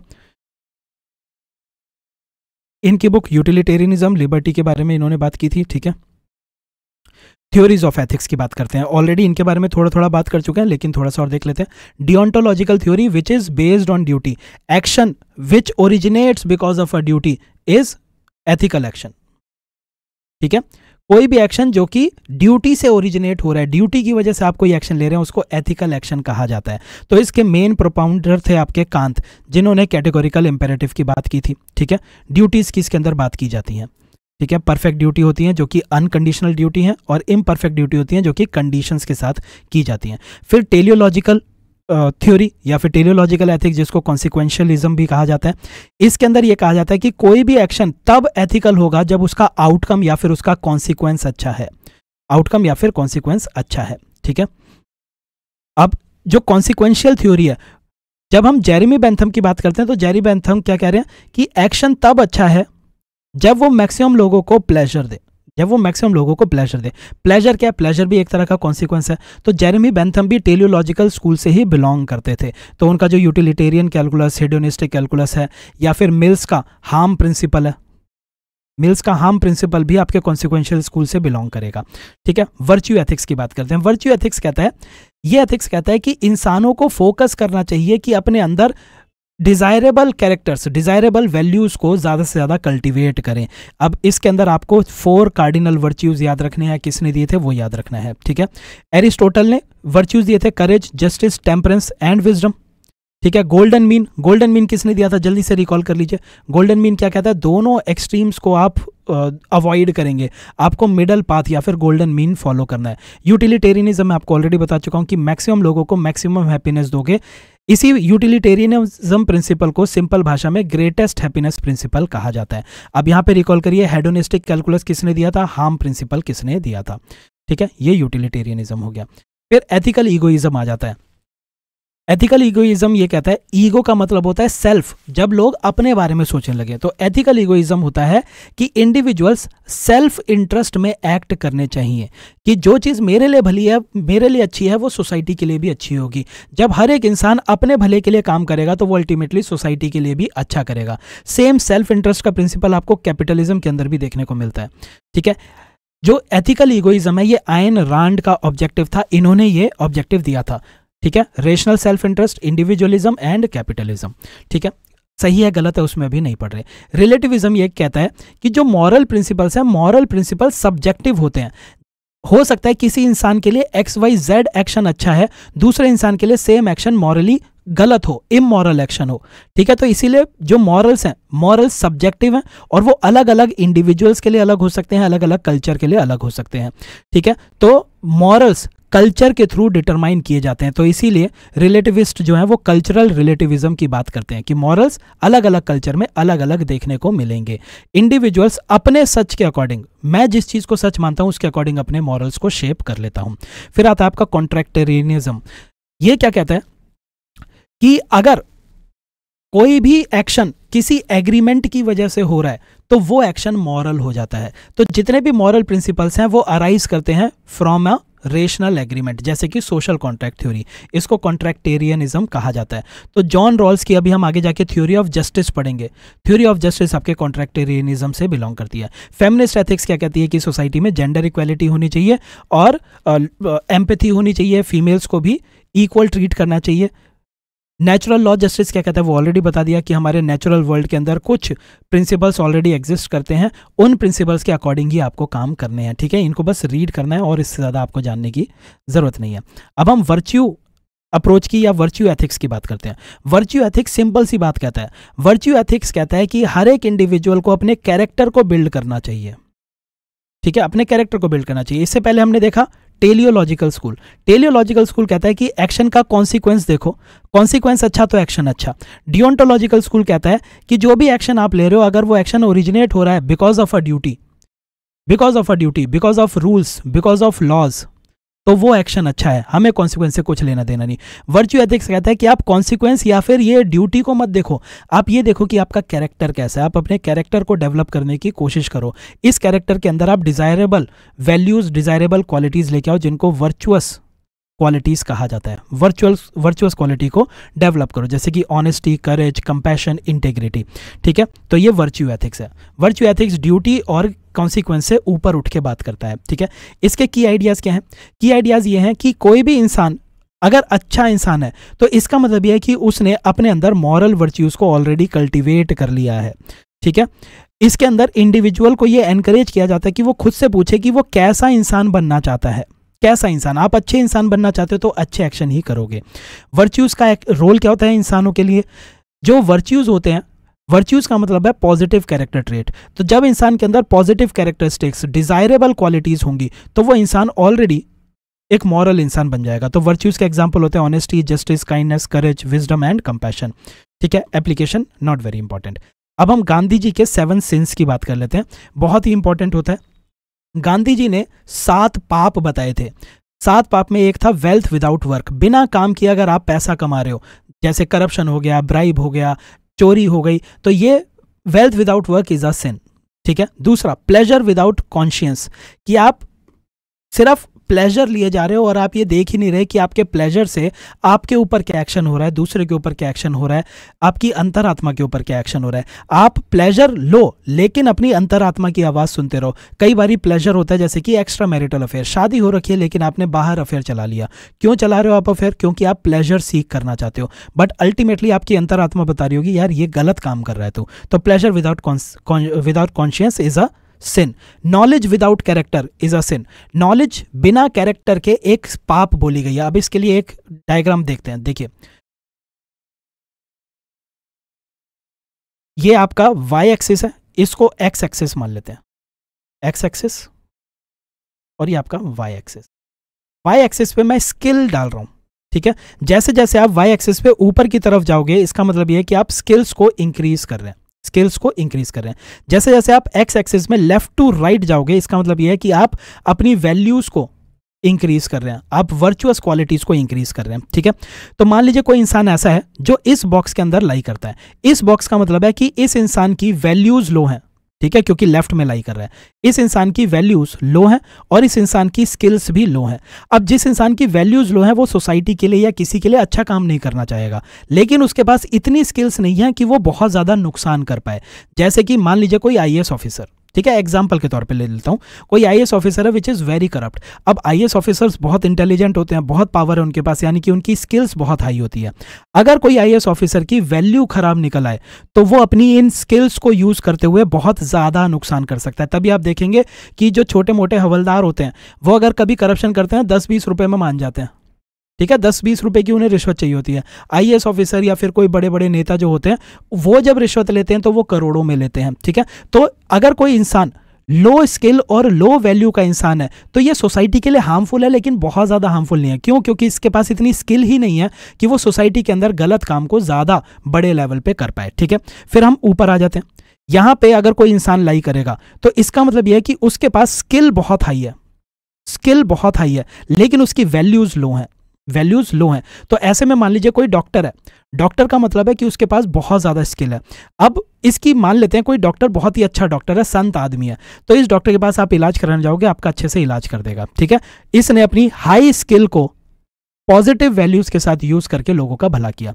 वहीं पे मान लीजिए कोई डॉक्टर है जो कि लो वैल्यूज़ वाला है, जो कि ईविल आदमी है तो आप उसके पास सर्दी खांसी का इलाज कराने गए थे और वो आपकी किडनी निकाल के बेच देगा, ठीक है? अब क्योंकि उसके पास स्किल ज़्यादा है लेकिन उसकी वैल्यूज़ खराब है, इसीलिए सोसाइटी में बहुत ज़्यादा हार्म कर सकता है। गांधी जी भी यही कह रहे हैं knowledge without character is very harmful it is a sin आपने नॉलेज एक्वायर कर ली, पर आपका कैरेक्टर अच्छा नहीं है तो आप सोसाइटी को बहुत हार्म कर सकते हो। आप इस वाले बॉक्स के अंदर लाई करोगे। अब यहाँ पे अगर बात करें, यहाँ पे क्या हो रहा है? यहाँ पे skills are high skills are high and values are high ये एक आइडियल सिचुएशन होती है। ये सोसाइटी के अंदर अच्छा काम करते हैं और बड़े लेवल पे अच्छा काम करते रहते हैं। अगर आप इस वाले बॉक्स की बात करें तो इस बॉक्स के अंदर values are high but skills are not very high तो ऐसे इंसान सोसाइटी में अच्छा काम करना तो चाहते हैं, लेकिन इनके पास वो स्किल्स नहीं है कि बहुत बड़े लेवल पे वो अच्छा काम कर सकें। तो ऐसे लोगों को ट्रेन करके स्किल्स दे के हमारी सोसाइटी के अंदर अच्छा काम करवाया जा सकता है। तो गांधी जी का एक सिन ये भी है knowledge without character is a sin ठीक है knowledge without character is a sin Osama bin Laden, इतनी ज़्यादा स्किलफुल आदमी था वो, क्या ओरेटर था? लोगों को सिर्फ़ अपनी बातों से एनकरेज मोटिवेट कर देता था कुछ भी करने के लिए। लेकिन उसने अपनी स्किल्स को यूज़ किया लोगों को टेररिस्ट बनाने के लिए। कितना बड़ा नुकसान कर दिया। हिटलर की बात देख लीजिए। पूरे के पूरे देश को हिटलर प्यार करने लग गया था। सॉरी पूरा का पूरा देश हिटलर को प्यार करने लग गया था, इतनी अच्छी स्पीच देता था वो। पूरी की पूरी जर्मनी के अंदर वो नेशनलिज्म लेके आ गया, यानी कि स्किल्स बहुत हाई थी, लेकिन क्या किया अल्टीमेटली वर्ल्ड वॉर टू तक वो लेके चला गया, क्योंकि स्किल्स को नेगेटिव तरीके से यूज़ किया। ठीक है, फिर कॉमर्स विदाउट मॉरलिटी बिना मॉरलिटी के अगर आप बिज़नेस कर रहे हो, आपके बिज़नेस में इंटेग्रिटी नहीं है एथिकल कंसिडरेशन नहीं है तो वो भी एक पाप है। साइंस विदाउट ह्यूमैनिटी आपने फिजन आपने फिजन रिएक्शन को समझ लिया, उसको कंट्रोल करना समझ लिया। ठीक है? अगर ह्यूमैनिटी होती तो फिजन रिएक्शन को सिर्फ़ यूज़ किया जाता इलेक्ट्रिसिटी प्रोड्यूस करने के लिए ताकि हर किसी का भला हो। लेकिन फिजन रिएक्शन को यूज़ किया गया बॉम्ब्स बनाने के लिए। तो साइंस विदाउट ह्यूमैनिटी आपका सोशल मीडिया आ चुका है। सोशल मीडिया को यूज़ करो। आप अपने आ, अपने मैसेज को लोगों तक पहुँचा सकते हो। अच्छी बातें लोगों तक पहुँचा सकते हो। पर सोशल मीडिया का यूज़ होता है मीम्स शेयर करने के लिए। सोशल मीडिया का यूज़ होता है लोगों को बुली करने के लिए। आर्टिफिशियल इंटेलिजेंस से आप डॉक्टर्ड फेक वीडियोस बना के सर्कुलेट कर रहे हो तो social media science without humanity worship without sacrifice worship कर रहे हो किसी चीज़ की तो वो सेल्फलेस होनी चाहिए। अगर आप वर्शिप कर रहे हो कि बस एग्ज़ाम में पास करा दे तो वो सेल्फलेस नहीं है। पॉलिटिक्स विदाउट प्रिंसिपल्स ये भी एक सीन है, इसको तो समझाने की ज़रूरत ही नहीं। ठीक है? अब जॉन रॉल्स की थ्योरी ऑफ़ जस्टिस देख लेते हैं। बहुत ही इंपॉर्टेंट थ्योरी है। इसके अंदर कुछ टर्म्स हैं। वो टर्म्स आपको अच्छे से याद रखनी है। ठीक है? जॉन वॉल्स ने जॉन रॉल्स ने दो टर्म्स जो पहली आप याद रखेंगे, वो है original position and veil of ignorance. अब ओरिजिनल पोजीशन क्या है? जॉन रॉल्स ने ये कहा कि हर एक इंसान को जो भी इंसान कुछ प्रिंसिपल्स बनाना चाह रहा है, जस्टिस से जुड़े हुए। समाज में जस्टिस किस तरह से आएगा? जब जस्टिस से जुड़े हुए प्रिंसिपल्स हम समाज में स्टैब्लिश करना चाह रहे हैं तो हमें एक हाइपोथेटिकल सिनेरियो में अपने आप को इमेजिन करना चाहिए। इस हाइपोथेटिकल सिनेरियो के अंदर आप किस पोजीशन में आते हो सोसाइटी में? आपको इसकी कोई भी नॉलेज नहीं है। ठीक है सोसाइटी में क्या कोई हैरारकी एग्जिस्ट करती है, आपको नॉलेज नहीं है। सोसाइटी में क्या जेंडर नॉर्म्स एग्जिस्ट करते हैं, आपको नॉलेज नहीं है। आप एक ओरिजिनल पोजीशन के अंदर आके उसके बाद ऐसे कानून बनाना चाहोगे जो कि फेयर जो कि इम्पार्शल है। आप ये फेयर और इम्पार्शल कानून या फिर प्रिंसिपल्स सिर्फ़ तभी बना पाओगे जब आपके पास ये नॉलेज ना हो कि सोसाइटी में आप कहाँ स्टैंड करते हो। मान लीजिए कोई इंसान है, वो सोसाइटी कास्ट के बेसिस पर डिवाइडेड है। मान लीजिए कोई इंसान है जो कि सबसे टॉप मोस्ट कास्ट के अंदर आता है। अब ये इंसान जब कानून बनाने लगेगा प्रिंसिपल्स बनाने लगेगा तो ये हमेशा चाहेगा कि मेरी पोजीशन इंटैक्ट रहनी चाहिए। मैं हमेशा हैरारकी में सबसे टॉप पे आना चाहिए हूँ। तो वो ऐसे ही कानून बनाने की कोशिश करेगा जो कि इसको फेवर करेंगे और बाकी लोगों के अगेंस्ट काम करेंगे। लेकिन लेकिन अगर आप वेल ऑफ़ इग्नोरेंस के अंदर काम कर रहे हो, यानी कि अगर आप एक ऐसी हाइपोथेटिकल दुनिया में काम कर रहे हो सीन में काम कर रहे हो, जहाँ पे आपको ये पता ही नहीं है कि आप सोसाइटी में किस लेवल पे आ रहे हो। सोसाइटी में लेवल्स एग्जिस्ट करते भी हैं या नहीं करते, ये आपको पता ही नहीं है। तो फिर जो आप कानून बनाओगे, वो सही कानून बनाओगे। क्यों? क्योंकि अब आपको नहीं पता कि आप सोसाइटी में किस लेवल पे हो।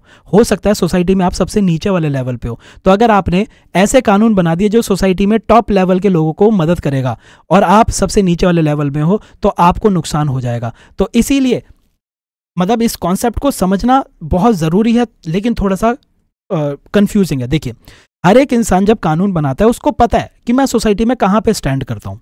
उसको पता है कि हमारी सोसाइटी में क्या क्या डिविजन्स हैं।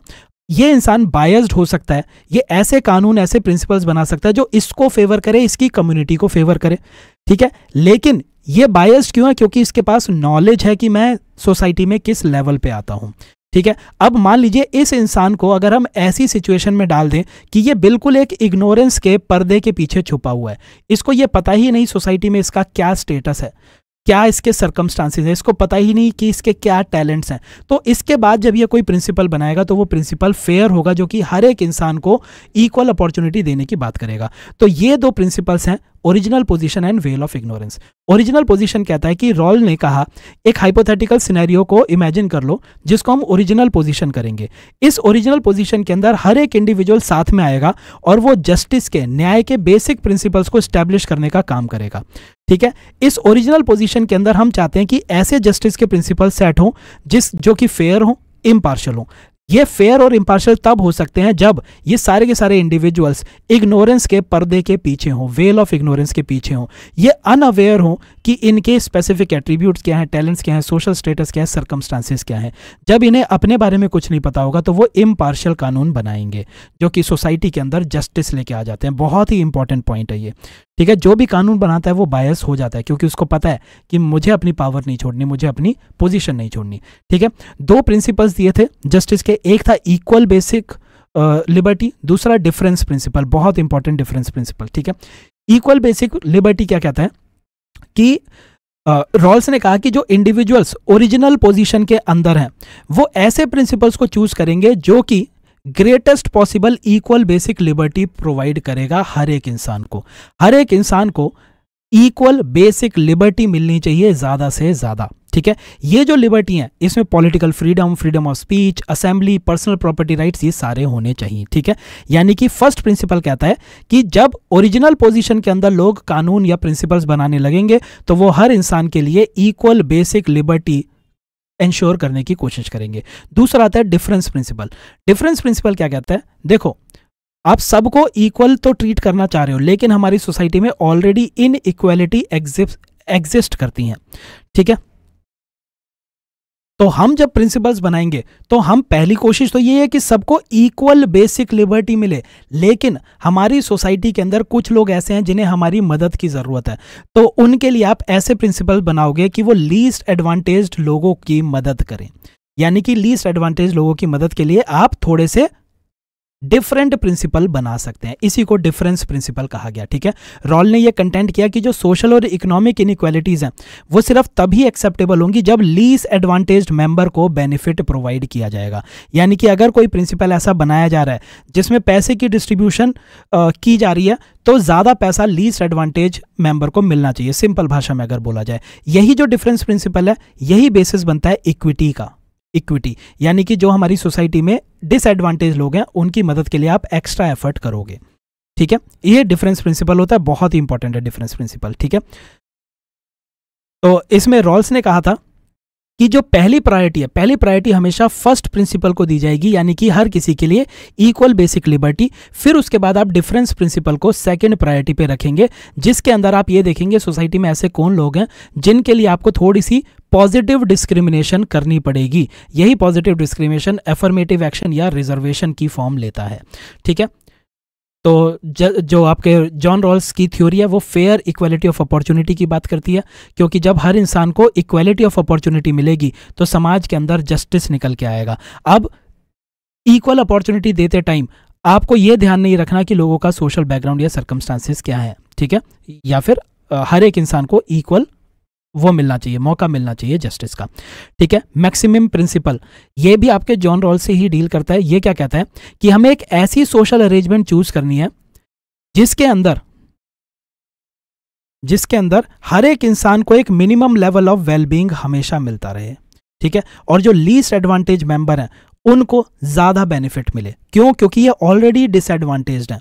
तो इनको जब थोड़ा सा एक्स्ट्रा बेनिफिट दोगे, जैसे रिजर्वेशन या पॉजिटिव डिस्क्रिमिनेशन तब ये सोसाइटी में आगे आएँगे। फिर आता है रिफ्लेक्टिव इक्विलिब्रियम रिफ्लेक्टिव इक्विलिब्रियम के अंदर वो कहते हैं कि जो इंडिविजुअल्स होते हैं रिफ्लेक्ट करते हैं। इंडिविजुअल्स रिफ्लेक्ट करते हैं। यानी कि इंडिविजुअल्स के पास अपनी एक रीजनिंग है, अपनी एक सोच समझ है। इस सोच समझ के अकॉर्डिंग वो समाज के अंदर जो मॉरल प्रिंसिपल्स एग्जिस्ट करते हैं, उनको एडजस्ट करते रहते हैं एज पर देयर रीजनिंग ठीक है? तो इसके अंदर वो इंट्यूशंस का यूज़ करते हैं प्रिंसिपल्स का यूज़ करते हैं, अपनी जजमेंट का यूज़ करते हैं, ठीक है?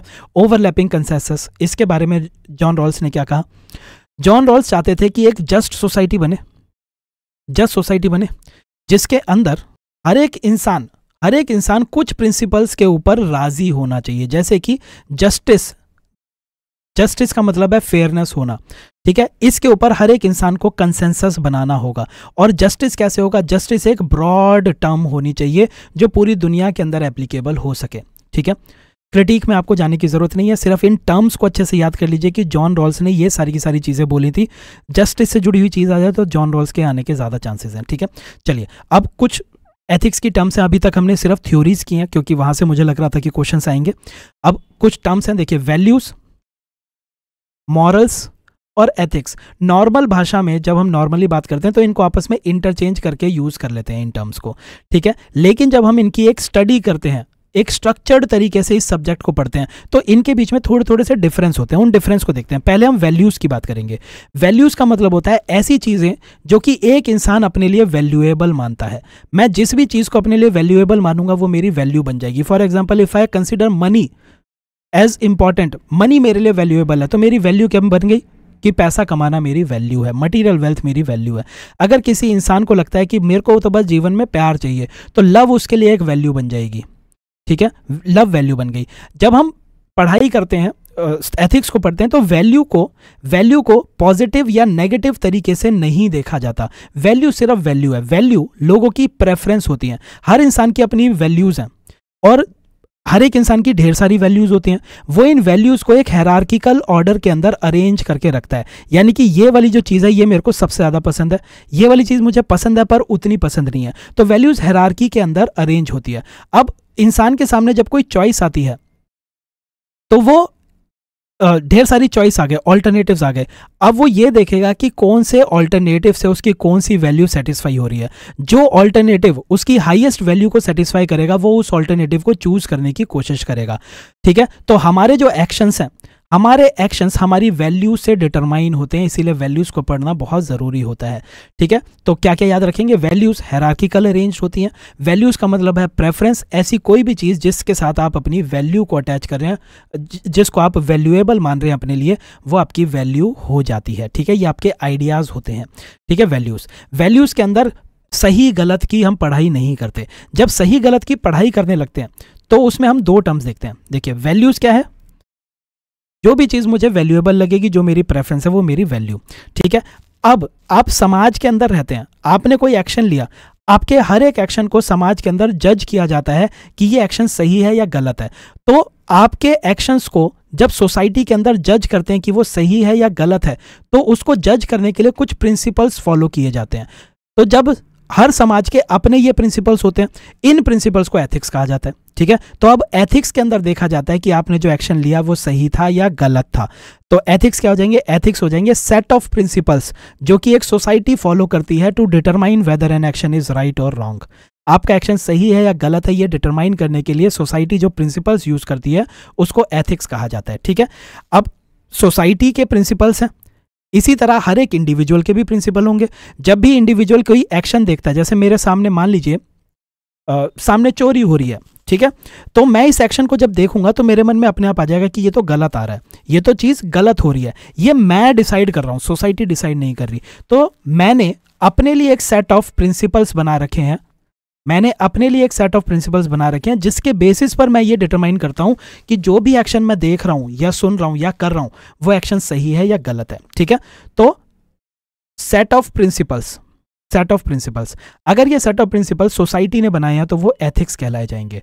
अगर ये सेट ऑफ़ प्रिंसिपल्स किसी इंडिविजुअल ने बनाए हैं तो उसको मॉरल्स कहा जाएगा। हर इंडिविजुअल के अपने मॉरल्स होते हैं। इन्हीं के बेसिस पर वो डिटरमाइन करता है कि एक्शन सही है या गलत है। और हर सोसाइटी के अपने एथिक्स होते हैं, जिनके बेसिस पर सोसाइटी डिटरमाइन करती है कि वो एक्शन सही है या गलत है। वैल्यूज़ क्या होती है? वैल्यूज़ फाउंडेशन की तरह काम करती है। ठीक है? वैल्यूज़ फाउंडेशन की तरह काम करती है। हर इंसान की अपनी वैल्यू होती है। हर सोसाइटी के अंदर अपनी कुछ वैल्यूज़ होती हैं और वो हैरार्किकल ऑर्डर में अरेंज होती है।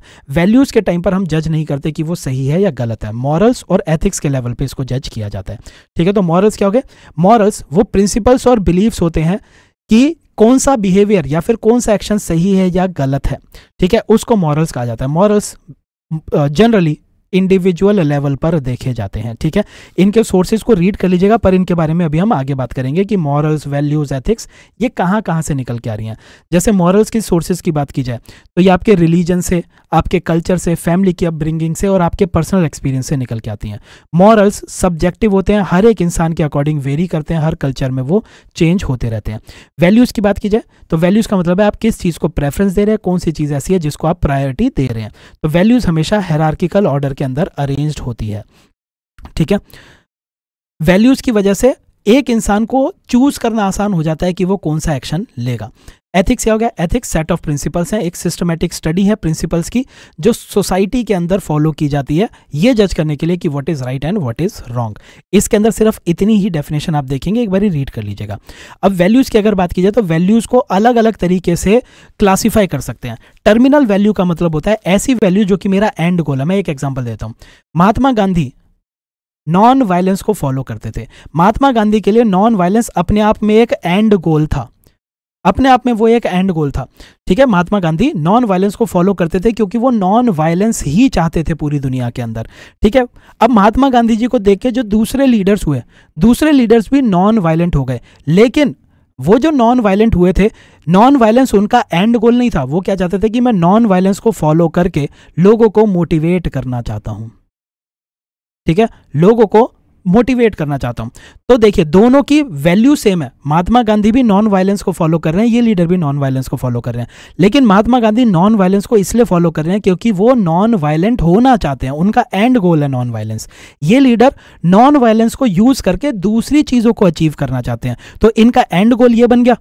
और नॉन वायलेंस क्या बन गया? नॉन वायलेंस वो ज़रिया बन गया जिसके थ्रू वो अपने एंड गोल तक पहुँच रहे हैं। तो टर्मिनल वैल्यूज़ वो वैल्यूज़ होती हैं जो अपने आप में एंड स्टेट है, जो कि अल्टीमेट गोल होता है किसी भी इंडिविजुअल का। फॉर एग्ज़ाम्पल हैप्पीनेस कोई भी वैल्यू एंड गोल हो सकती है किसी भी इंसान के लिए, ठीक है?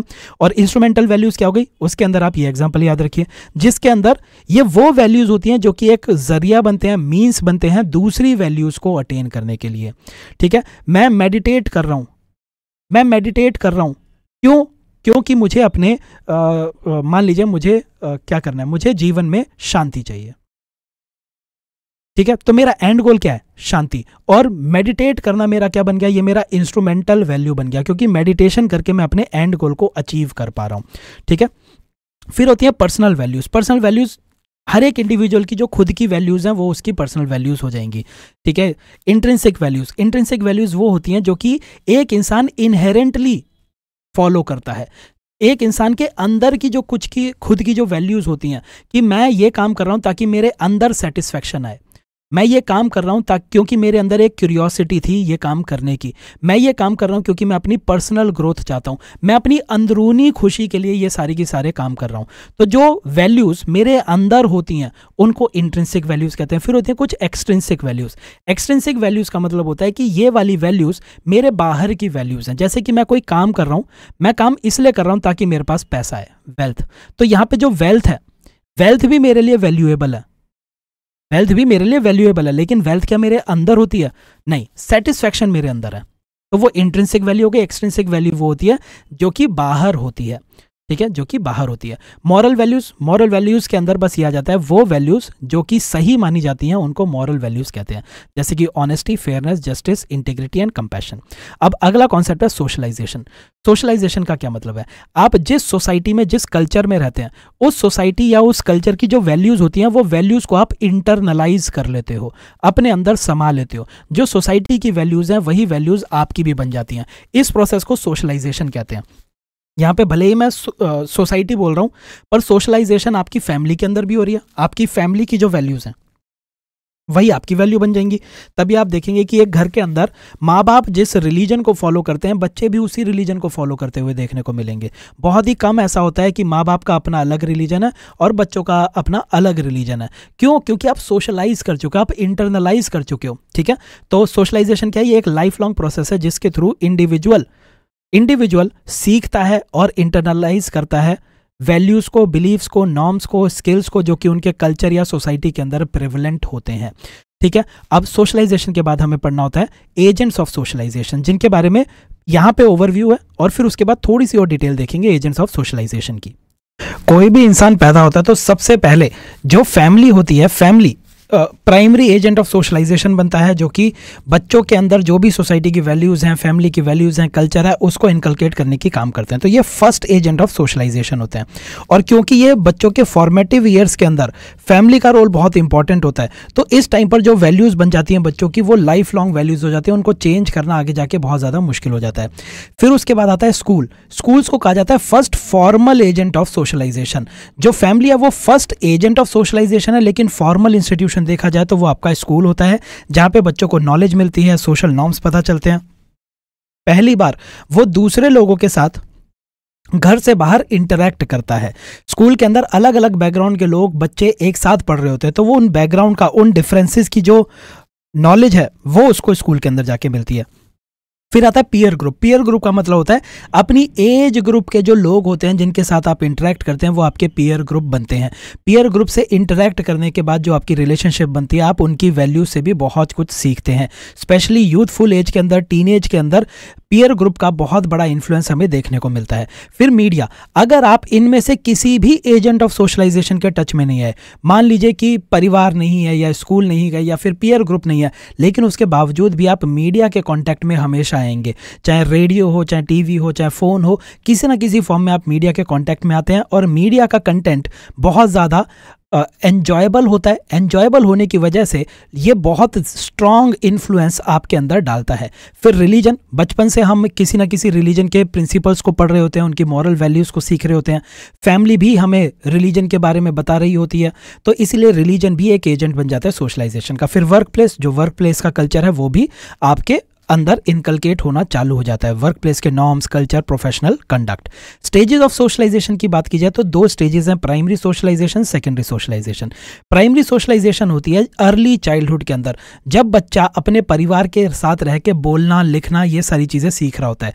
परिवार के साथ ही वो सोशल स्किल्स सीख रहा होता है। तो इसको प्राइमरी सोशलाइजेशन कहते हैं अर्ली चाइल्डहुड के टाइम पर। सेकेंडरी सोशलाइजेशन अडल्टहुड में और अडोलेसेंस के टाइम पर आपको देखने को मिलती है। जब बच्चा स्कूल जाना चालू कर देता है पीयर्स या फिर वर्क प्लेस में जाता है वहाँ पे।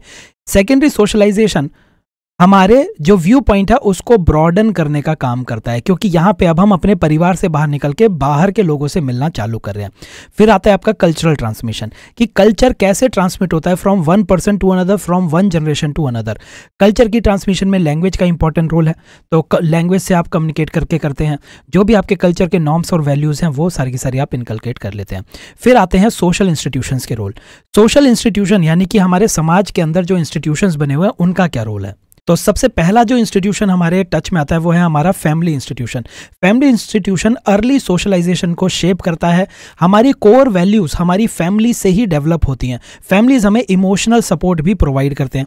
एजुकेशनल इंस्टीट्यूशन जो कि हमारी कोग्नेटिव डेवलपमेंट में हमारी मदद करता है, हमें सोशल स्किल्स देता है, क्योंकि पहली बार ये first formal agent of socialization है, जिसमें हम लोगों से पहली बार मिलते हैं और लोगों से मिलने के बाद हमारी सोशल स्किल्स डेवलप होती हैं। कल्चरल नॉलेज हमें पता चलती है। कल्चरल कल्चरल डिफरेंसेस की अवेयरनेस जनरेट होती है। फिर रिलीजियस इंस्टीट्यूशंस आ जाते हैं। रिलीजियस इंस्टीट्यूशंस के अंदर जो भी हमारे रिलीजन की वैल्यूज़ हैं, वो सारी आएँगी। फिर इकोनॉमिक इंस्टीट्यूशन यानी कि एक तरह से आपके वर्क प्लेस हो गया। आप जो भी काम कर रहे हैं इकोनॉमिक एक्टिविटी कर रहे हैं, उसके जो नॉर्म्स हैं, वो नॉर्म्स आपके अंदर इनकलकेट हो जाते हैं रोल्स और आपकी एक्सपेक्टेशंस यहाँ पे बननी चालू हो जाती हैं। ठीक है?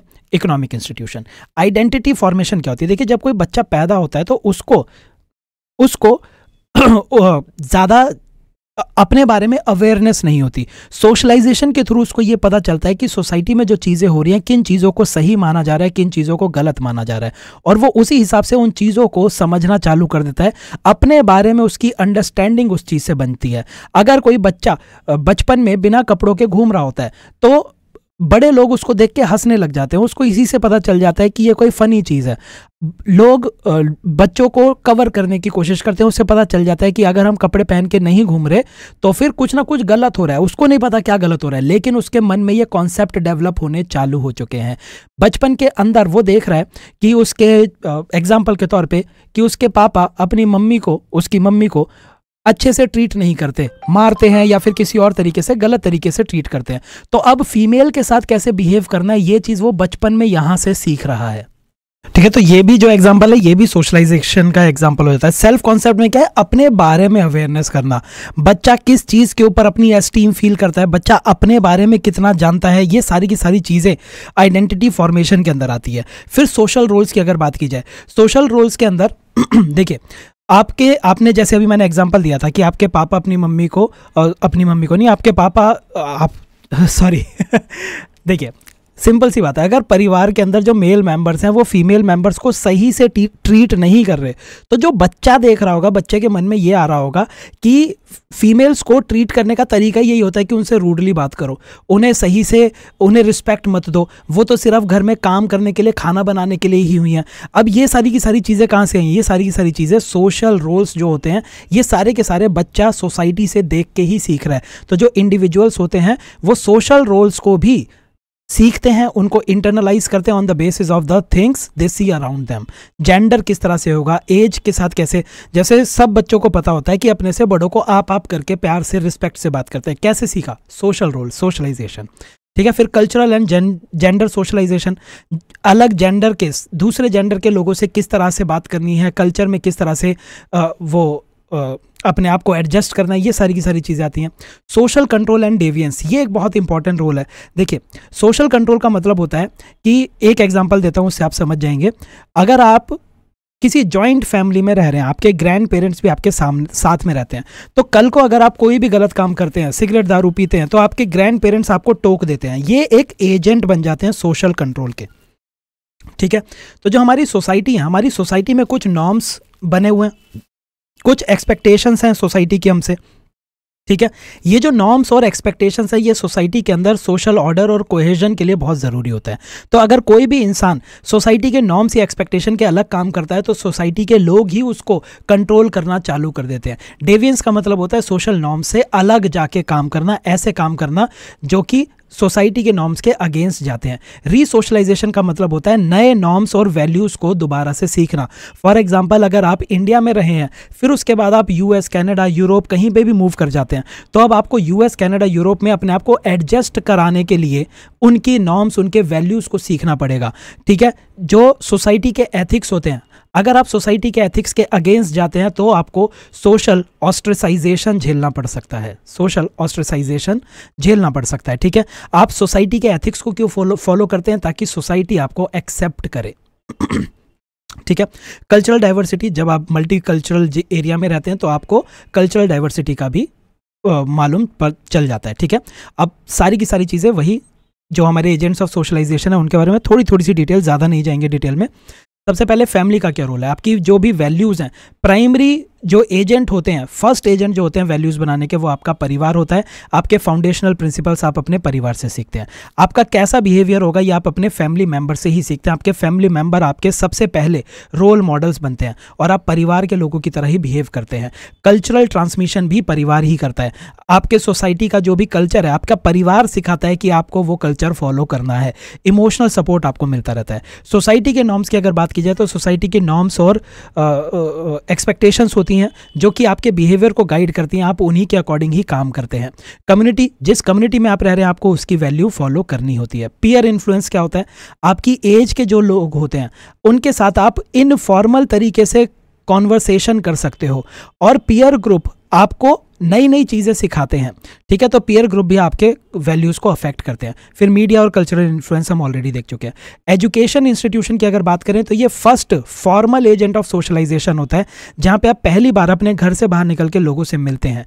स्कूल के अंदर आपके कैरेक्टर की डेवलपमेंट होती है, आपको सिविक एजुकेशन मिलती है, आपकी कॉग्नेटिव डेवलपमेंट यहाँ पे होती है, आपको क्रिटिकल थिंकिंग सिखाई जाती है। ठीक है स्कूल्स के अंदर आपको ड्यूटी डिसिप्लिन इस तरह की वैल्यूज़ सीखने को मिलेंगी। ठीक है? फिर intersection of family society and education वही आपकी वैल्यूज़ को री करने के लिए डाइवर्सिटी और इंक्लूजन के बारे में आपको पता चलता है। ठीक है? लाइफ लॉन्ग लर्निंग आपकी चलती रहती है। सबसे पहले आप सीखते हैं फैमिली से, फिर एजुकेशन से और सोसाइटी से आप पूरी ज़िंदगी कुछ ना कुछ सीखते रहते हैं। ठीक है? तो लाइफ लॉन्ग लर्निंग आपको यहाँ पे देखने को मिलेगी।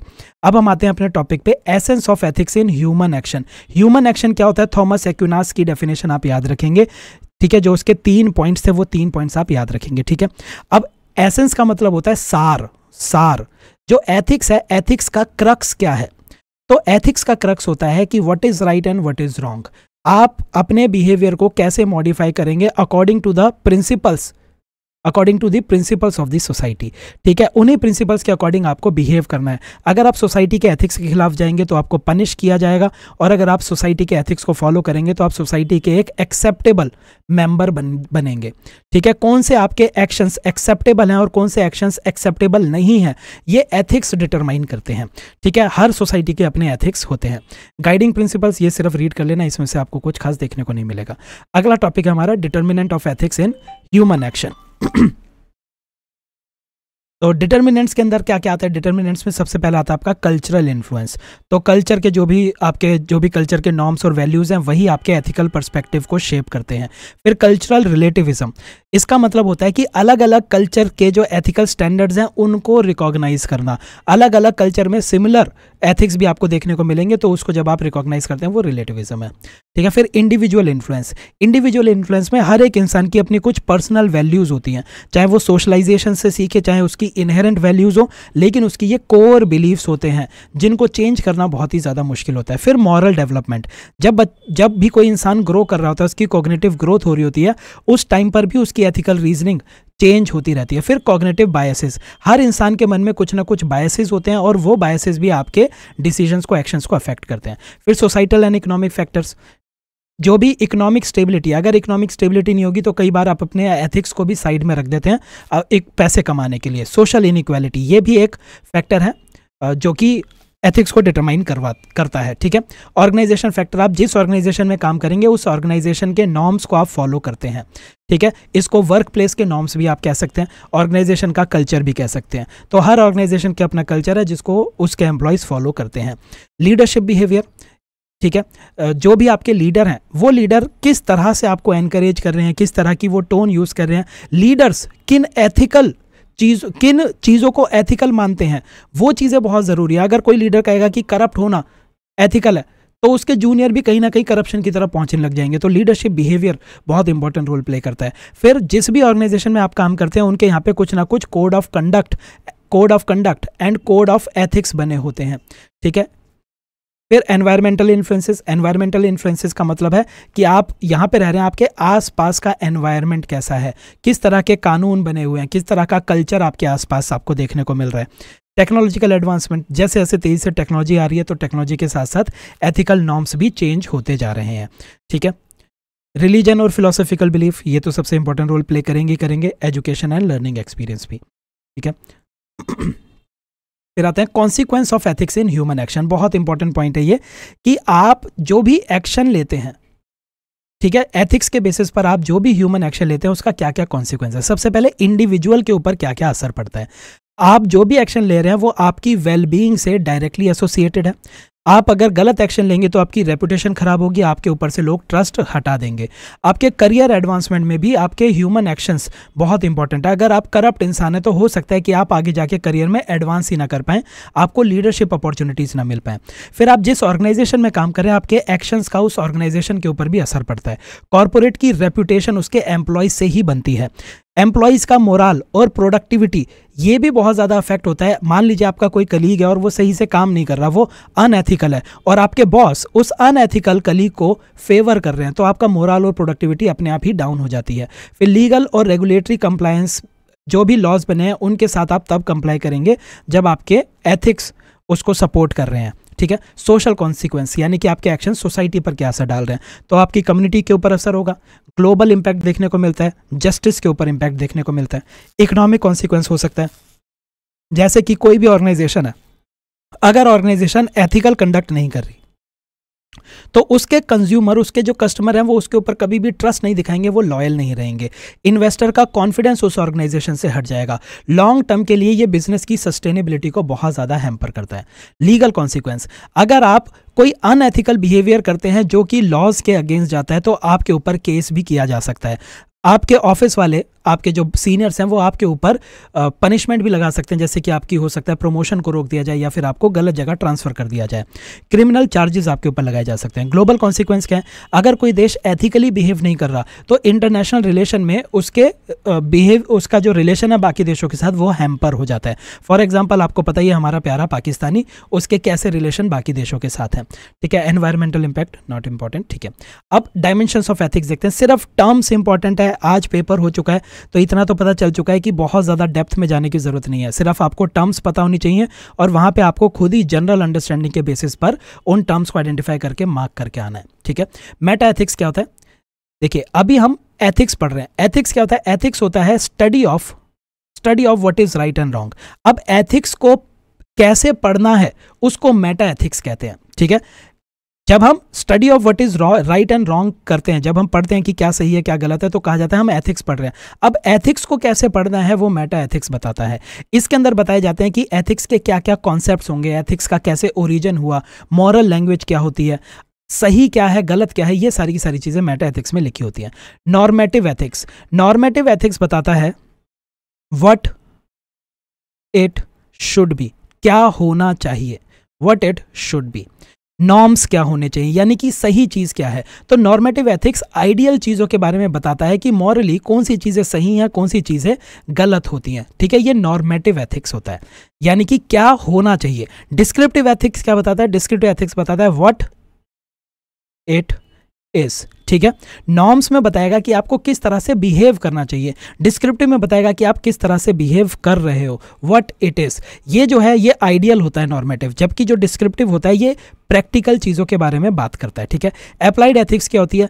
एथिक्स को अपनी लाइफ के अलग अलग एरियाज़ के अंदर अलग अलग कंटेक्स्ट के अंदर अप्लाई करना। फॉर एग्जांपल बिज़नेस के अंदर एथिक्स लगाना। यानी कि बिज़नेस की क्या एथिक्स होनी चाहिए? मेडिकल जब आप मेडिकल फ़ील्ड के अंदर काम कर रहे हैं तो एक मेडिकल फ़ील्ड के अंदर काम करने वाले आदमी को क्या क्या एथिकल वैल्यूज़ फॉलो करनी चाहिए? बायो एथिक्स क्या होनी चाहिए? एनवायरमेंटल एथिक्स क्या होनी चाहिए? ऊपर हमने डिजिटल एथिक्स भी देखा था, अगर आप याद करें तो। मेटा मोरालिटी क्या होता है? मेटा मोरालिटी का मतलब होता है कि जो एथिकल थ्योरीज और सिस्टम बने हुए हैं, उनको एनालाइज करना, उनको इवेल्युएट करना। ये एग्जामिन करना कि जो अलग अलग एथिकल फ्रेमवर्क्स हैं, वो कितने वैलिड हैं कंसिस्टेंट हैं और कोहरेंट हैं। इंडिविजुअल एथिक्स सिंपल सी डेफिनेशन है। एक इंडिविजुअल इंसान की जो एथिक्स होती है, उसको इंडिविजुअल एथिक्स कह देते हैं कि एक इंसान अपनी मॉरल डेवलपमेंट और डिसीज़न मेकिंग के लिए किन किन वैल्यूज़ को फॉलो कर रहा है। सोशल एथिक्स, सोसाइटी के एथिक्स को सोशल एथिक्स कहते हैं। प्रोफेशनल एथिक्स, आप जिस भी प्रोफेशन में, ऑक्यूपेशन में काम कर रहे हैं, उस ऑक्यूपेशन से जुड़े हुए जो भी एथिकल वैल्यूज़ हैं, उन वैल्यूज़ को फॉलो करो। एनवायरमेंटल एथिक्स एनवायरमेंटल एथिक्स होते हैं कि आप अपने नेचुरल वर्ल्ड को रिस्पेक्ट कर रहे हो या नहीं कर रहे। कहीं आप पैसे कमाने की होड़ में अपने एनवायरनमेंट को इतना डैमेज तो नहीं कर रहे कि आने वाले समय में हमारा एनवायरनमेंट पूरी तरह ख़राब हो जाए एनवायरमेंटल एथिक्स फिर पॉलिटिकल एथिक्स कि पॉलिटिक्स के अंदर आप सही से बिहेव करेंगे। कल्चरल एथिक्स ठीक है, ये ये सब नॉट वेरी इंपॉर्टेंट रीड करके एक बार आप जा सकते हैं, ठीक है? अब अलग अलग रिलेशनशिप में एथिक्स का रोल एक बारी देख लेते हैं। बहुत ही आसान है। प्राइवेट रिलेशनशिप में एक इंसान को क्यों एथिकल होना चाहिए? प्राइवेट रिलेशनशिप का मतलब है relationship between two individuals which is not public ठीक है? आपके घर के अंदर आपके मम्मी पापा के साथ जो रिश्ते हैं, आपके आपकी वाइफ के साथ या गर्लफ्रेंड के साथ बॉयफ्रेंड के साथ, पति के साथ क्या रिश्ते हैं? आपके आपके बच्चों के साथ क्या रिश्ते हैं? तो प्राइवेट रिलेशनशिप में अगर आप एथिकल होंगे तो रिश्तों में ट्रस्ट और ऑनेस्टी बनी रहेगी। ठीक है? प्राइवेट रिश्तों में ट्रस्ट और ऑनेस्टी फाउंडेशन का काम करती है। ठीक है? तो कम्युनिकेशन ओपन होनी चाहिए कि आप एक दूसरे से बातें छुपाए नहीं। इससे आपके रिलेशनशिप की क्वालिटी और लाइफ दोनों ही इंक्रीज हो जाती हैं। प्राइवेट रिलेशनशिप में ऑटोनमी देनी चाहिए। जैसे मैं इसमें एग्ज़ाम्पल लेता हूँ पति पत्नी का। ठीक है? अब इंडिया के अंदर ज़्यादातर ऐसा होता है कि जब दो लोगों की शादी होती है तो पति अपनी पत्नी को अपनी प्रॉपर्टी समझने लग जाता है। वो ये रियलाइज़ ही नहीं कर पाता कि ये जो वाइफ है, ये अपने आप में एक इंडिविजुअल है, इसकी अपनी एक, इसकी अपनी एक पर्सनैलिटी है। ठीक है, ये खुद से कमाना चाहती होगी, हो सकता है खुद से घूमना चाहती हो, कैसे कपड़े पहनने, ये उसकी खुद की चॉइस है। लेकिन हम क्या सोचने लग जाते हैं, हम उसको अपनी प्रॉपर्टी की तरह ट्रीट करते रहते हैं और उसकी ऑटोनॉमी को हैम्पर कर देते हैं। सारी की सारी चीज़ें जो हम बोलते हैं, हम चाहते हैं कि वो वही काम करती रहे। तो प्राइवेट रिलेशनशिप में दूसरे की इंडिविजुअल ऑटोनॉमी को रिस्पेक्ट करो, इससे अंडरस्टैंडिंग बनती है। ठीक है? और दोनों को रिलेशनशिप में जितने भी लोग हैं, उनको फ्रीडम और इंडिपेंडेंस का एहसास होता है तो वो खुश रहते हैं। कम्युनिकेशन और ट्रांसपेरेंसी होनी चाहिए सीक्रेट मत रखो, ठीक है? जब भी कोई इंसान आपस में बात कर रहे हैं प्राइवेट उसमें तो एक्टिव लिसनिंग होनी चाहिए। यानी कि सामने वाला जो बोल रहा है, सिर्फ़ उसको बोलने मत दो उसकी बात को सुनो, समझो, उसको सोचो, ठीक है? कई बार क्या होता है, हम सिर्फ़ सामने वाले को चुप होने का वेट कर रहे होते हैं कि वो चुप हो तो हम कुछ बोलें। तो ये एक्टिव लिसनिंग नहीं होती। सामने वाला कुछ बोल रहा है और आप अपने ख्यालों में खो गए, जैसे हो सकता है इस लेक्चर के दौरान आप खो गए हो। ठीक है? अपनी गर्लफ्रेंड बॉयफ्रेंड को याद करके उसको पैसिव लिसनिंग कहते हैं। नहीं एक्टिवली सुनो कि क्या हो रहा है। जब आप एक्टिवली चीज़ों को सुनते हैं तो मिसअंडरस्टैंडिंग रिड्यूस होती है और इंटीमेसी इंक्रीज होती है। कमिटमेंट और फिडेलिटी होनी चाहिए। इनफिडेलिटी नहीं होनी चाहिए। फेथफुल रहो लॉयल रहो ताकि रिलेशनशिप स्ट्रांग रहे। रिलेशनशिप के अंदर फेयरनेस और जस्टिस होना चाहिए। एक दूसरे को फेयरली और जस्टली ट्रीट करो। इक्वालिटी, एम्पथी, ये सारी चीज़ें दिखाओ। रिलेशनशिप के अंदर हारमोनियस और हारमोनियस रिलेशनशिप के अंदर बैलेंस होना बहुत ज़रूरी है। पब्लिक रिलेशनशिप, यानी कि आपके जनता के साथ क्या रिलेशन है? फॉर एग्ज़ाम्पल कोई ऑफिसर है, ठीक है? अब ये जो ऑफिसर है ये ऑफ़िस के अंदर जब बैठा है तो जनता आके इससे बात कर रही है। तो जनता से ये कैसे बात कर रहा है ये उसका पब्लिक रिलेशन है। जब ये ऑफिसर अपने घर जाता है, घर पे बीवी बच्चों से बात करता है तो वो इस ऑफिसर का प्राइवेट रिलेशन है। तो पब्लिक रिलेशन के अंदर इंसानों को पब्लिक सर्विस के एथिक्स को फॉलो करना होता है, जैसे कि इंटेग्रिटी अकाउंटेबिलिटी ट्रांसपेरेंसी तो यहाँ पे कोड ऑफ़ कंडक्ट जो बने उन्हें फॉलो करो, जिससे पब्लिक के अंदर ट्रस्ट जनरेट होता है और गवर्नमेंट के प्रति लोगों को कॉन्फिडेंस आता है। आप अपने डिसीज़न के लिए अकाउंटेबल बनो। कोई गलती हुई तो आपको उसकी जवाबदेही देनी पड़ेगी। आपकी वजह से वो गलती हुई थी। आपको रिस्पॉन्सिव होना है। जो भी कस्टमर आए, अगर उनकी कोई ज़रूरत है, कोई नीड है तो उन ज़रूरतों को समझो और उनको फुलफिल करने की कोशिश करो। रूल ऑफ़ लॉ को फॉलो करो। इलीगल काम कोई भी नहीं करना है। जस्टिस को प्रिवेल करना है। कुछ भी ऐसा मत करो जिसमें कन्फ्लिक्ट ऑफ़ इंटरेस्ट दिखे। कन्फ्लिक्ट ऑफ़ इंटरेस्ट का मतलब होता है कि आप दो चीज़ों में इन्वॉल्व हो और ये दोनों चीज़ें आपस में कन्फ्लिक्ट करती हैं, ठीक है?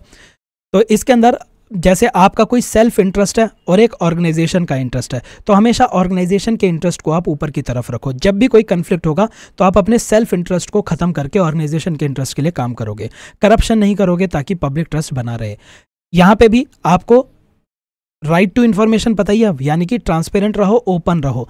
इन्फॉर्मेशन को ओपनली शेयर करो, जनता को इन्वॉल्व करो डिसीज़न मेकिंग के अंदर। सोशल जस्टिस और इक्विटी के ऊपर आप फोकस करो। ठीक है? वैल्यूज़ में आपको ऑलरेडी बता चुका हूँ वैल्यू का क्या वो होता है? नॉर्म्स का मतलब होता है वट इट शुड बी मतलब आइडियली क्या होना चाहिए? तो आइडियल वैल्यूज़ क्या होनी चाहिए? उसको नॉर्मेटिव वैल्यूज़ कहते हैं।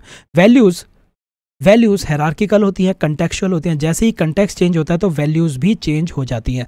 तो ये भी एक चीज़ आप याद रखेंगे values can change values subjective होती हैं। हर इंसान के लिए अलग अलग चीज़ें वैल्यूएबल या फिर प्रेफरेबल हो सकती हैं। वैल्यूज़ डायनेमिक है, वही मैंने बताया कि जिस तरह वैल्यूज़ अगर चेंज हो सकती है तो वो स्टैटिक नहीं कह सकते, वो डायनेमिक होती हैं। वैल्यूज़ एक्शन ओरिएंटेड होती हैं। आप जो एक्शन लेते हैं वो आपकी वैल्यूज़ के ऊपर बहुत ज़्यादा डिपेंडेंट होता है। वैल्यूज़ के साथ आपके इमोशंस जुड़े होते हैं, इसलिए उनको इमोशनली चार्ज भी कहते हैं।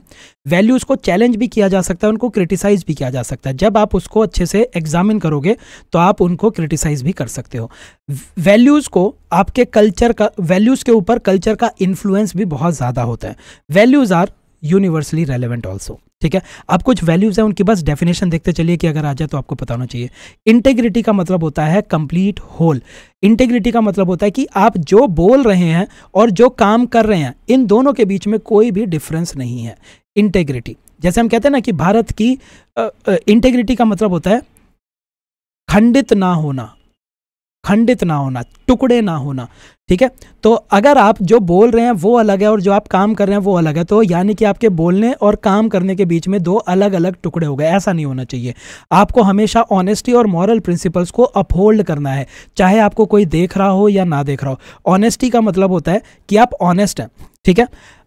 और इंटेग्रिटी का मतलब है कि आप तब भी ऑनेस्ट रहेंगे जब आपके ऊपर कोई प्रेशर आ रहा है या फिर जब आपको कोई लालच दे रहा है तो भी। हर एक्शन में आपको ऑनेस्ट और मॉरल रहना है। अपने आप से आपको सच, सच्चा रहना है, ठीक है? रिस्पेक्ट का मतलब होता है हर एक इंसान को डिग्निटी और एक्सेप्टेंस के साथ ट्रीट करना, ठीक है?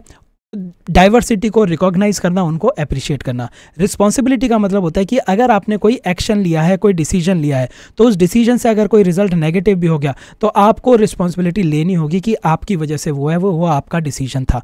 ठीक है? रिस्पॉन्सिबिलिटी आपके कमिटमेंट्स और ऑब्लिगेशन को फुलफिल करने में मदद करता है। फेयरनेस का मतलब होता है कि हर एक इंसान को जस्ट और इक्विटेबल तरीके से ट्रीट करो, किसी भी तरह का बायस या डिस्क्रिमिनेशन नहीं होना चाहिए। कंपैशन का मतलब है कि आप किसी इंसान के बारे में, देखिए, तीन टर्म्स यहाँ पे, या चलिए कंपैशन को अभी हम आगे कवर करते हैं, ठीक है? क्योंकि उससे पहले सिंपैथी और एम्पैथी भी हम कवर करेंगे। करेज का मतलब है ब्रेवरी और डिटर्मिनेशन दिखाना जब आपके सामने कोई चैलेंज आया हो। ऑनेस्टी का मतलब होता है हमेशा ट्रूथफुल रहना ट्रांसपेरेंट रहना, बिल्कुल भी डिसीट मत करना, किसी को डिसीव मत करो मैनिपुलेट मत करो, ठीक है? एम्पैथी को भी हम आगे कवर करेंगे। ग्रेटिट्यूड का मतलब होता है कि अगर आपके लिए लाइफ में किसी ने कुछ अच्छा किया है तो शो एप्रिसिएशन उसको थैंक्स बोलो। उसको बताओ कि आपने जो किया है, उसको हम रिकॉग्नाइज करते हैं। टॉलरेंस का मतलब होता है कि अलग अलग वैल्यूज़ को रिस्पेक्ट करो, उन डिफरेंसेस को एक्सेप्ट करो। डाइवर्सिटी को रिस्पेक्ट आप तभी करोगे जब आप टॉलरेंट होगे। ह्यूमिलिटी का मतलब होता है ज़्यादा घमंड मत करना। लैक ऑफ़ एरोगेंस पेशेंस का मतलब होता है थोड़ा सा संयम से काम को करना। हर एक मतलब मान लीजिए आपके सामने कोई एक्टिविटी हो रही है तो कुछ लोग इम्पल्सिवली उसके ऊपर रिएक्ट कर देते हैं। हर एक्शन के ऊपर तुरंत रिएक्ट नहीं करना चाहिए। अपने इम्पल्स के ऊपर तुरंत एक्ट नहीं करना चाहिए। थोड़ा सा सोच समझ के काम करना चाहिए। ठीक है? फिर जेनरोसिटी जेनरोसिटी का मतलब होता है बाकियों की मदद करो। बिना उनसे कुछ एक्सपेक्ट किए। लॉयल्टी का मतलब होता है फेथफुलनेस दिखाओ। अगर किसी को कोई ज़रूरत है तो ज़रूरत के टाइम पर उसके साथ खड़े रहो। ग्रेटिट्यूड ग्रेटिट्यूड का मतलब वही थैंकफुल फील करना। रिकॉग्नाइज करना कि किसी ने आपकी मदद की है।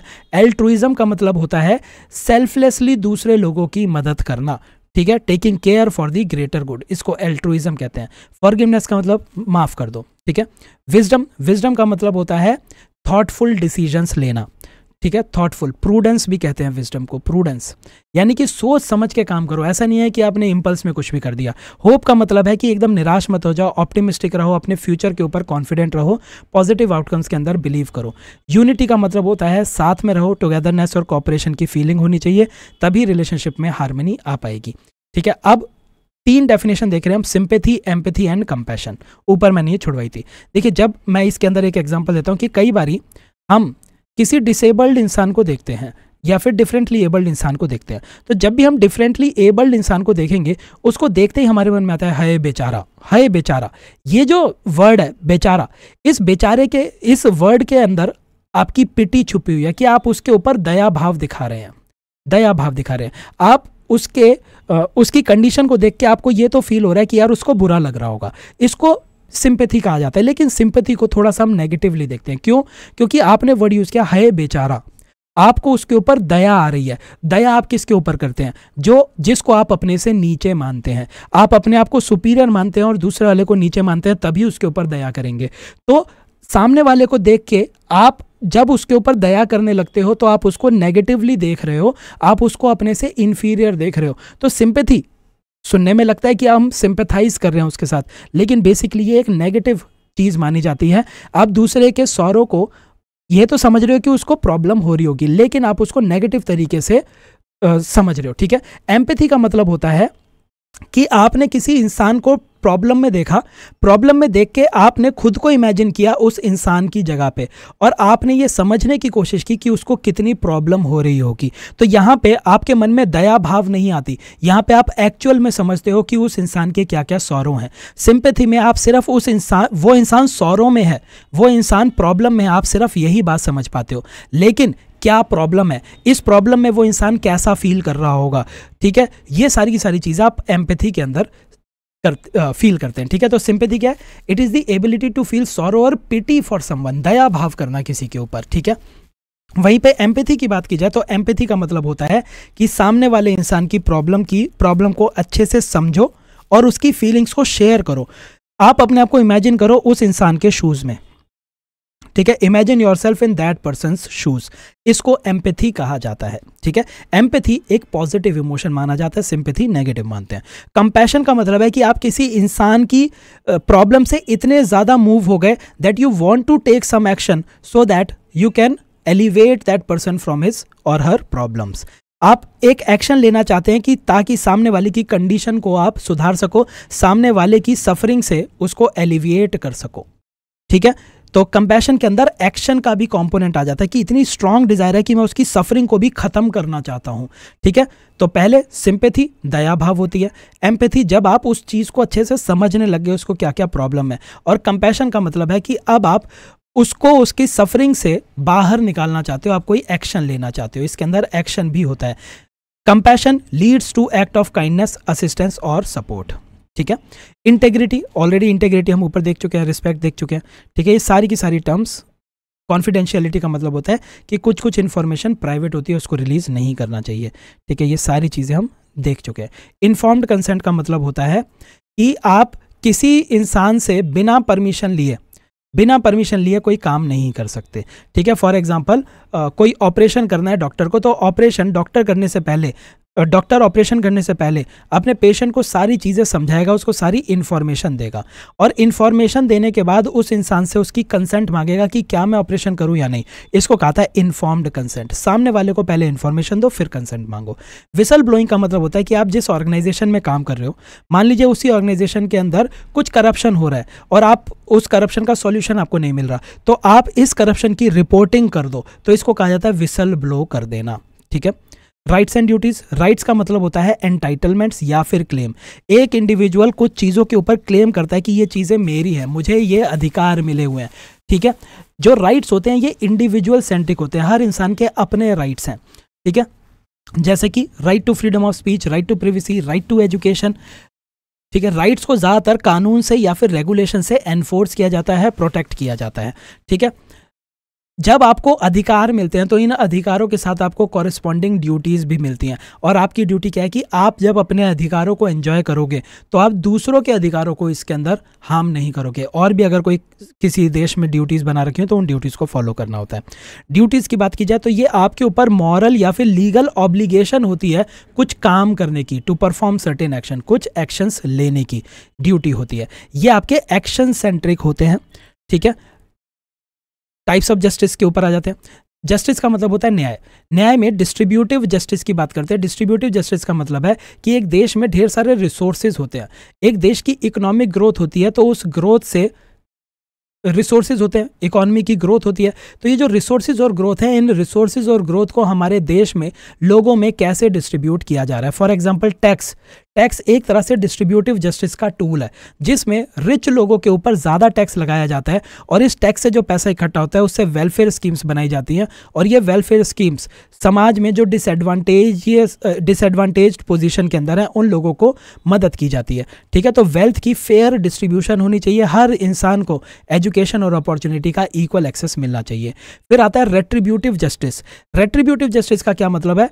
An eye for an eye an eye, for an eye. तूने अगर मेरी आँख फोड़ी तो मैं भी तेरी आँख फोड़ दूँगा। यानी कि किसी एक इंसान ने कोई गलत काम किया तो आप उससे बदला लो। इसको कहा जाता है रेट्रीब्यूटिव जस्टिस तो retributive justice is concern with punishment for wrong doing और ऑफेंस ठीक है? तो ज़्यादातर जो लीगल सिस्टम होते हैं, वो या तो रेट्रीब्यूटिव होते हैं या रिस्टोरेटिव होते हैं। रिस्टोरेटिव लीगल सिस्टम क्या कहते हैं?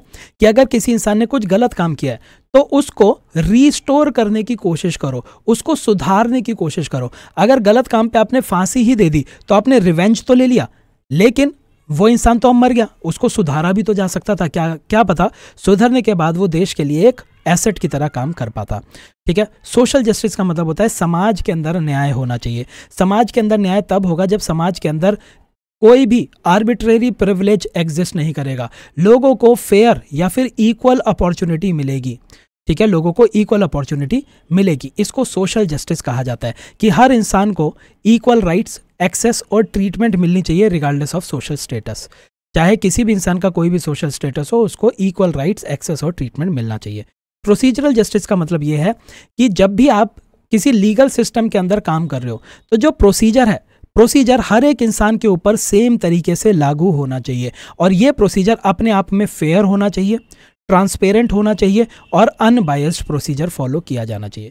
ग्लोबल जस्टिस ग्लोबल स्केल के ऊपर जस्टिस को, ठीक है? नॉट वेरी इंपॉर्टेंट अब एटीट्यूड्स के ऊपर आ जाते हैं। एटीट्यूड क्या होता है? हालाँकि ये आपके सिलेबस में नहीं लिखा हुआ, फिर भी थोड़ा सा टॉपिक है, इसको कर ही लेंगे। एटीट्यूड एक साइकोलॉजिकल कंस्ट्रक्ट है। बेसिकली मैं एक इसके अंदर एक आपको एग्ज़ाम्पल देता हूँ। एटीट्यूड एक तरह से आपके सन होते हैं। ठीक है? जैसे सन ग्लासेज है। आपने अगर ब्लैक कलर का सन ग्लास लगा रखा है तो आपको हर एक चीज़ थोड़ी सी डार्क दिखाई देती है। अगर आपने ग्रीन कलर का सन ग्लास लगा रखा है तो आपको हर एक चीज़ ग्रीन दिखाई देती है।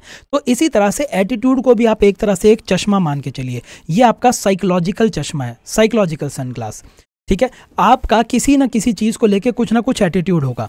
मैं एक एग्ज़ाम्पल लेता हूँ। ज़्यादातर इंडिया के अंदर एक एटीट्यूड है that females are not good drivers females are not good drivers. ठीक है, अब ये एटीट्यूड बहुत ज़्यादा हमें देखने को मिलता है लोगों को। अब कल को आप गाड़ी चला रहे हैं और आपने रोड पे किसी फीमेल को गाड़ी चलाते देखा, आप डर जाओगे। आपको लगेगा, अरे यार, ये तो अच्छी ड्राइवर नहीं होगी, कहीं ठोक ना दे। ये क्या था? ये आपने एक स्टीरियो बना रखा है। उस स्टीरियो के बेसिस पर ही आप सारी की सारी लड़कियों को एक जैसा देख रहे हो। ठीक है तो एटीट्यूड एक तरह का चश्मा होता है जो कि आपके विजन जो मतलब जो चीज़ आप देख रहे हो उस चीज़ के आगे आपका एटीट्यूड आ जाता है और फिर आप उस चीज़ को अपने एटीट्यूड के अकॉर्डिंग जज करना चालू कर देते हो। तो एटीट्यूड एक साइकोलॉजिकल कंस्ट्रक्ट है, जिसके थ्रू एक इंडिविजुअल एक इंडिविजुअल किसी भी ऑब्जेक्ट पर्सन ग्रुप इवेंट या आइडिया को इवेल्युएट करता है। ठीक है? आपके सामने कोई भी ऑब्जेक्ट पर्सन ग्रुप इवेंट या आइडिया आया तो आप उसके बारे में अच्छा फील करते हो, बुरा फील करते हो, ये आपके एटीट्यूड के ऊपर डिपेंड करता है। तो एटीट्यूड के तीन कंपोनेंट होते हैं, जिसको हम सी ए बी से याद रखते हैं। सी से होता है कॉग्निटिव कंपोनेंट दूसरा अफेक्टिव कंपोनेंट और तीसरा बिहेवियरल कंपोनेंट ठीक है? एटीट्यूड के ये तीन कंपोनेंट आपको याद रखने हैं। कोई भी एटीट्यूड फॉर्म करने से पहले आती है आपकी कॉग्नेटिव स्टेज कॉग्नेटिव स्टेज का मतलब है कि यहाँ पे आप ढेर सारी इंफॉर्मेशन को कलेक्ट करोगे। इंफॉर्मेशन और नॉलेज को एक्वायर करोगे। ठीक है? तो जो भी आपके सामने ऑब्जेक्ट है पर्सन है इवेंट है आइडिया है, आप उसके बारे में इंफॉर्मेशन को कलेक्ट करने लगोगे। ठीक है? फिर उसके बाद उस इंफॉर्मेशन के बेसिस पर आपके मन में कुछ ना कुछ इमोशंस जुड़ेंगे, कुछ ना कुछ फीलिंग्स जुड़ेंगी। ये जो इमोशंस है, या तो लाइक होगा या डिसलाइक होगा, या फिर किसी और तरह के इमोशंस जुड़ते जाएँगे। अब आपने क्या किया? आपने इन्फॉर्मेशन कलेक्ट कर ली। इस इन्फॉर्मेशन के बेसिस पर इमोशंस आ गए आपके मन में। अब इस इमोशन के बेसिस पर आपके एक्शंस आप आगे जाके एक्शंस लोगे। तो ये जो एक्शन लेने वाली स्टेज है इसको बिहेवियरल स्टेज कहा जाता है, ठीक है? तो कॉग्नेटिव स्टेज में आप इन्फॉर्मेशन और नॉलेज को एक्वायर करते हो। अफेक्टिव स्टेज में आप, आपका इमोशनल रिस्पॉन्स निकल के आता है, आपकी फीलिंग्स निकल के आती हैं। बिहेवियरल स्टेज के अंदर आप एक्शंस लेते हो, आप बताते हो कि आप एक्चुअली में क्या करने वाले हो, ठीक है? तो ये आपके तीन स्टेजेस होते हैं एटीट्यूड फॉर्मेशन के C A B cognitive cognitive affective and behavioural फिर इसके बाद एटीट्यूड फॉर्मेशन के अंदर और कौन कौन सी चीज़ें इन्फ्लुएंस करती हैं? पहला है सोशल लर्निंग आप अपनी सोसाइटी से क्या क्या चीज़ें सीख रहे हो? डायरेक्ट एक्सपीरियंस देखिए, मेरे को कुत्ते बहुत पसंद थे. डॉग्स मुझे बहुत पसंद थे. फिर उसके बाद एक कुत्ते ने मुझे काट लिया. ठीक है, मेरा पूरा का पूरा एटीट्यूड कुत्तों के प्रति बदल गया. मेरे को कुत्ते बिल्कुल पसंद नहीं है. ये एग्ज़ाम्पल है डायरेक्ट एक्सपीरियंस का. डायरेक्ट एक्सपीरियंस की वजह से मैंने पहले इन्फॉर्मेशन कलेक्ट करी कि कुत्ता काटता है, कुत्ते के काटने से रेबीज होती है. ठीक है? फिर उसके बाद मेरे इमोशंस निकल के आए कि मेरे को रेबीज पसंद नहीं है, मेरे को कुत्ते से कटवाना नहीं है। फिर उसके बाद मेरा बिहेवियर अफेक्ट होने लग गया। जब भी कोई कुत्ता आता था, मैं उसको भगा देता था। तो ये मेरा डायरेक्ट एक्सपीरियंस हो गया। ठीक है? फिर सोशलाइजेशन एंड कल्चरल इन्फ्लुएंसेस ये भी सोशलाइजेशन भी आपको अफेक्ट करेगी। मीडिया और कम्युनिकेशन भी। ठीक है? ये सारी चीज़ें हम कर चुके हैं personal values and belief system ठीक है? अब हम आ जाते हैं। आपके सिलेबस में लिखा हुआ है कि आपको कुछ थिंकर्स इंडिया के पर्सनैलिटीज़ इंडिया की कुछ इंपॉर्टेंट पर्सनैलिटीज़ और एडमिनिस्ट्रेटर्स इनके बारे में थोड़ा थोड़ा पता होना चाहिए। अब देखिए, इन चीज़ों का ना तो कोई आदि है, ना कोई अंत है। तो जितना मेरे, जितना मुझे सफिशिएंट लगेगा, उतना मैं कराने की कोशिश करता हूँ। आप भी बहुत ज़्यादा इन चीज़ों के पीछे मत भागेगा यहाँ से पता नहीं कितने ही क्वेश्चन पूछे वो, ठीक है? चाणक्य चाणक्य आपका एक पॉलिटिकल थिंकर था इकोनॉमिक थिंकर भी कह सकते हैं। चाणक्य ने अर्थशास्त्र लिखी। चाणक्य ने कहा कि जो किंग है, वो रिस्पॉन्सिबल होता है सोसाइटी की वेलबींग के लिए। किंग को बैलेंस करना चाहिए मटीरियलिज्म और स्पिरिचुअलिज्म के बीच में। ठीक है? ये मौर्यन एम्पायर की स्टैब्लिशमेंट में चाणक्य का बहुत इंपॉर्टेंट रोल था। महात्मा गांधी जी की अगर बात की जाए तो इन्होंने ट्रुथ और नॉन वायलेंस को कोर प्रिंसिपल बनाया। इन्होंने कहा कि हर इंसान के अंदर ही भगवान एग्जिस्ट करता है। इन्होंने वेस्टर्न कल्चर को क्रिटिसाइज किया और इंडिया के अंदर स्वराज लाने की बात कही थी। ठीक है, ये सोसाइटी के अंदर सोशल इंटीग्रेशन की बात करते थे लव की बात करते थे, तभी इन्होंने हरिजन्स के अपलिफ्टमेंट के लिए काम किया। स्वामी विवेकानंद की बात की जाए, ठीक है, वैसे इसके अंदर कुछ भी ऐसा नहीं है जो पढ़ाने वाला है। ठीक है? एक बारी आप इसको रीड कर लीजिएगा कि जैसे आदि शंकराचार्य ने अद्वैत वेदांता की बात की थी। श्री कृष्णा ने राइटियसनेस और ईविल को राइटनेसनेस को अपहोल्ड करने की और ईविल को डिस्ट्रॉय करने की बात कही थी। ठीक है? ये सारी की सारी चीज़ें थी। मतलब इसके अंदर कुछ भी पढ़ाने वाला नहीं, एक बार रीड करके चले जाइएगा। एथिक्स के अंदर एक काम मैं आपके लिए और कर देता हूँ। मैं एक और टेबल बना के टेलीग्राम चैनल के ऊपर वो पीडीएफ भी डाल दूँगा, जिसके ऊपर एक बारी नज़र मार के चले जाना। बहुत ज़्यादा उसके अंदर पढ़ने की ज़रूरत नहीं है, क्योंकि कौन सा एडमिनिस्ट्रेटर पूछा जाए, कौन सा थिंकर पूछा जाए पर्सनैलिटी पूछी जाए, ये हमारे कंट्रोल के अंदर नहीं है। ठीक है?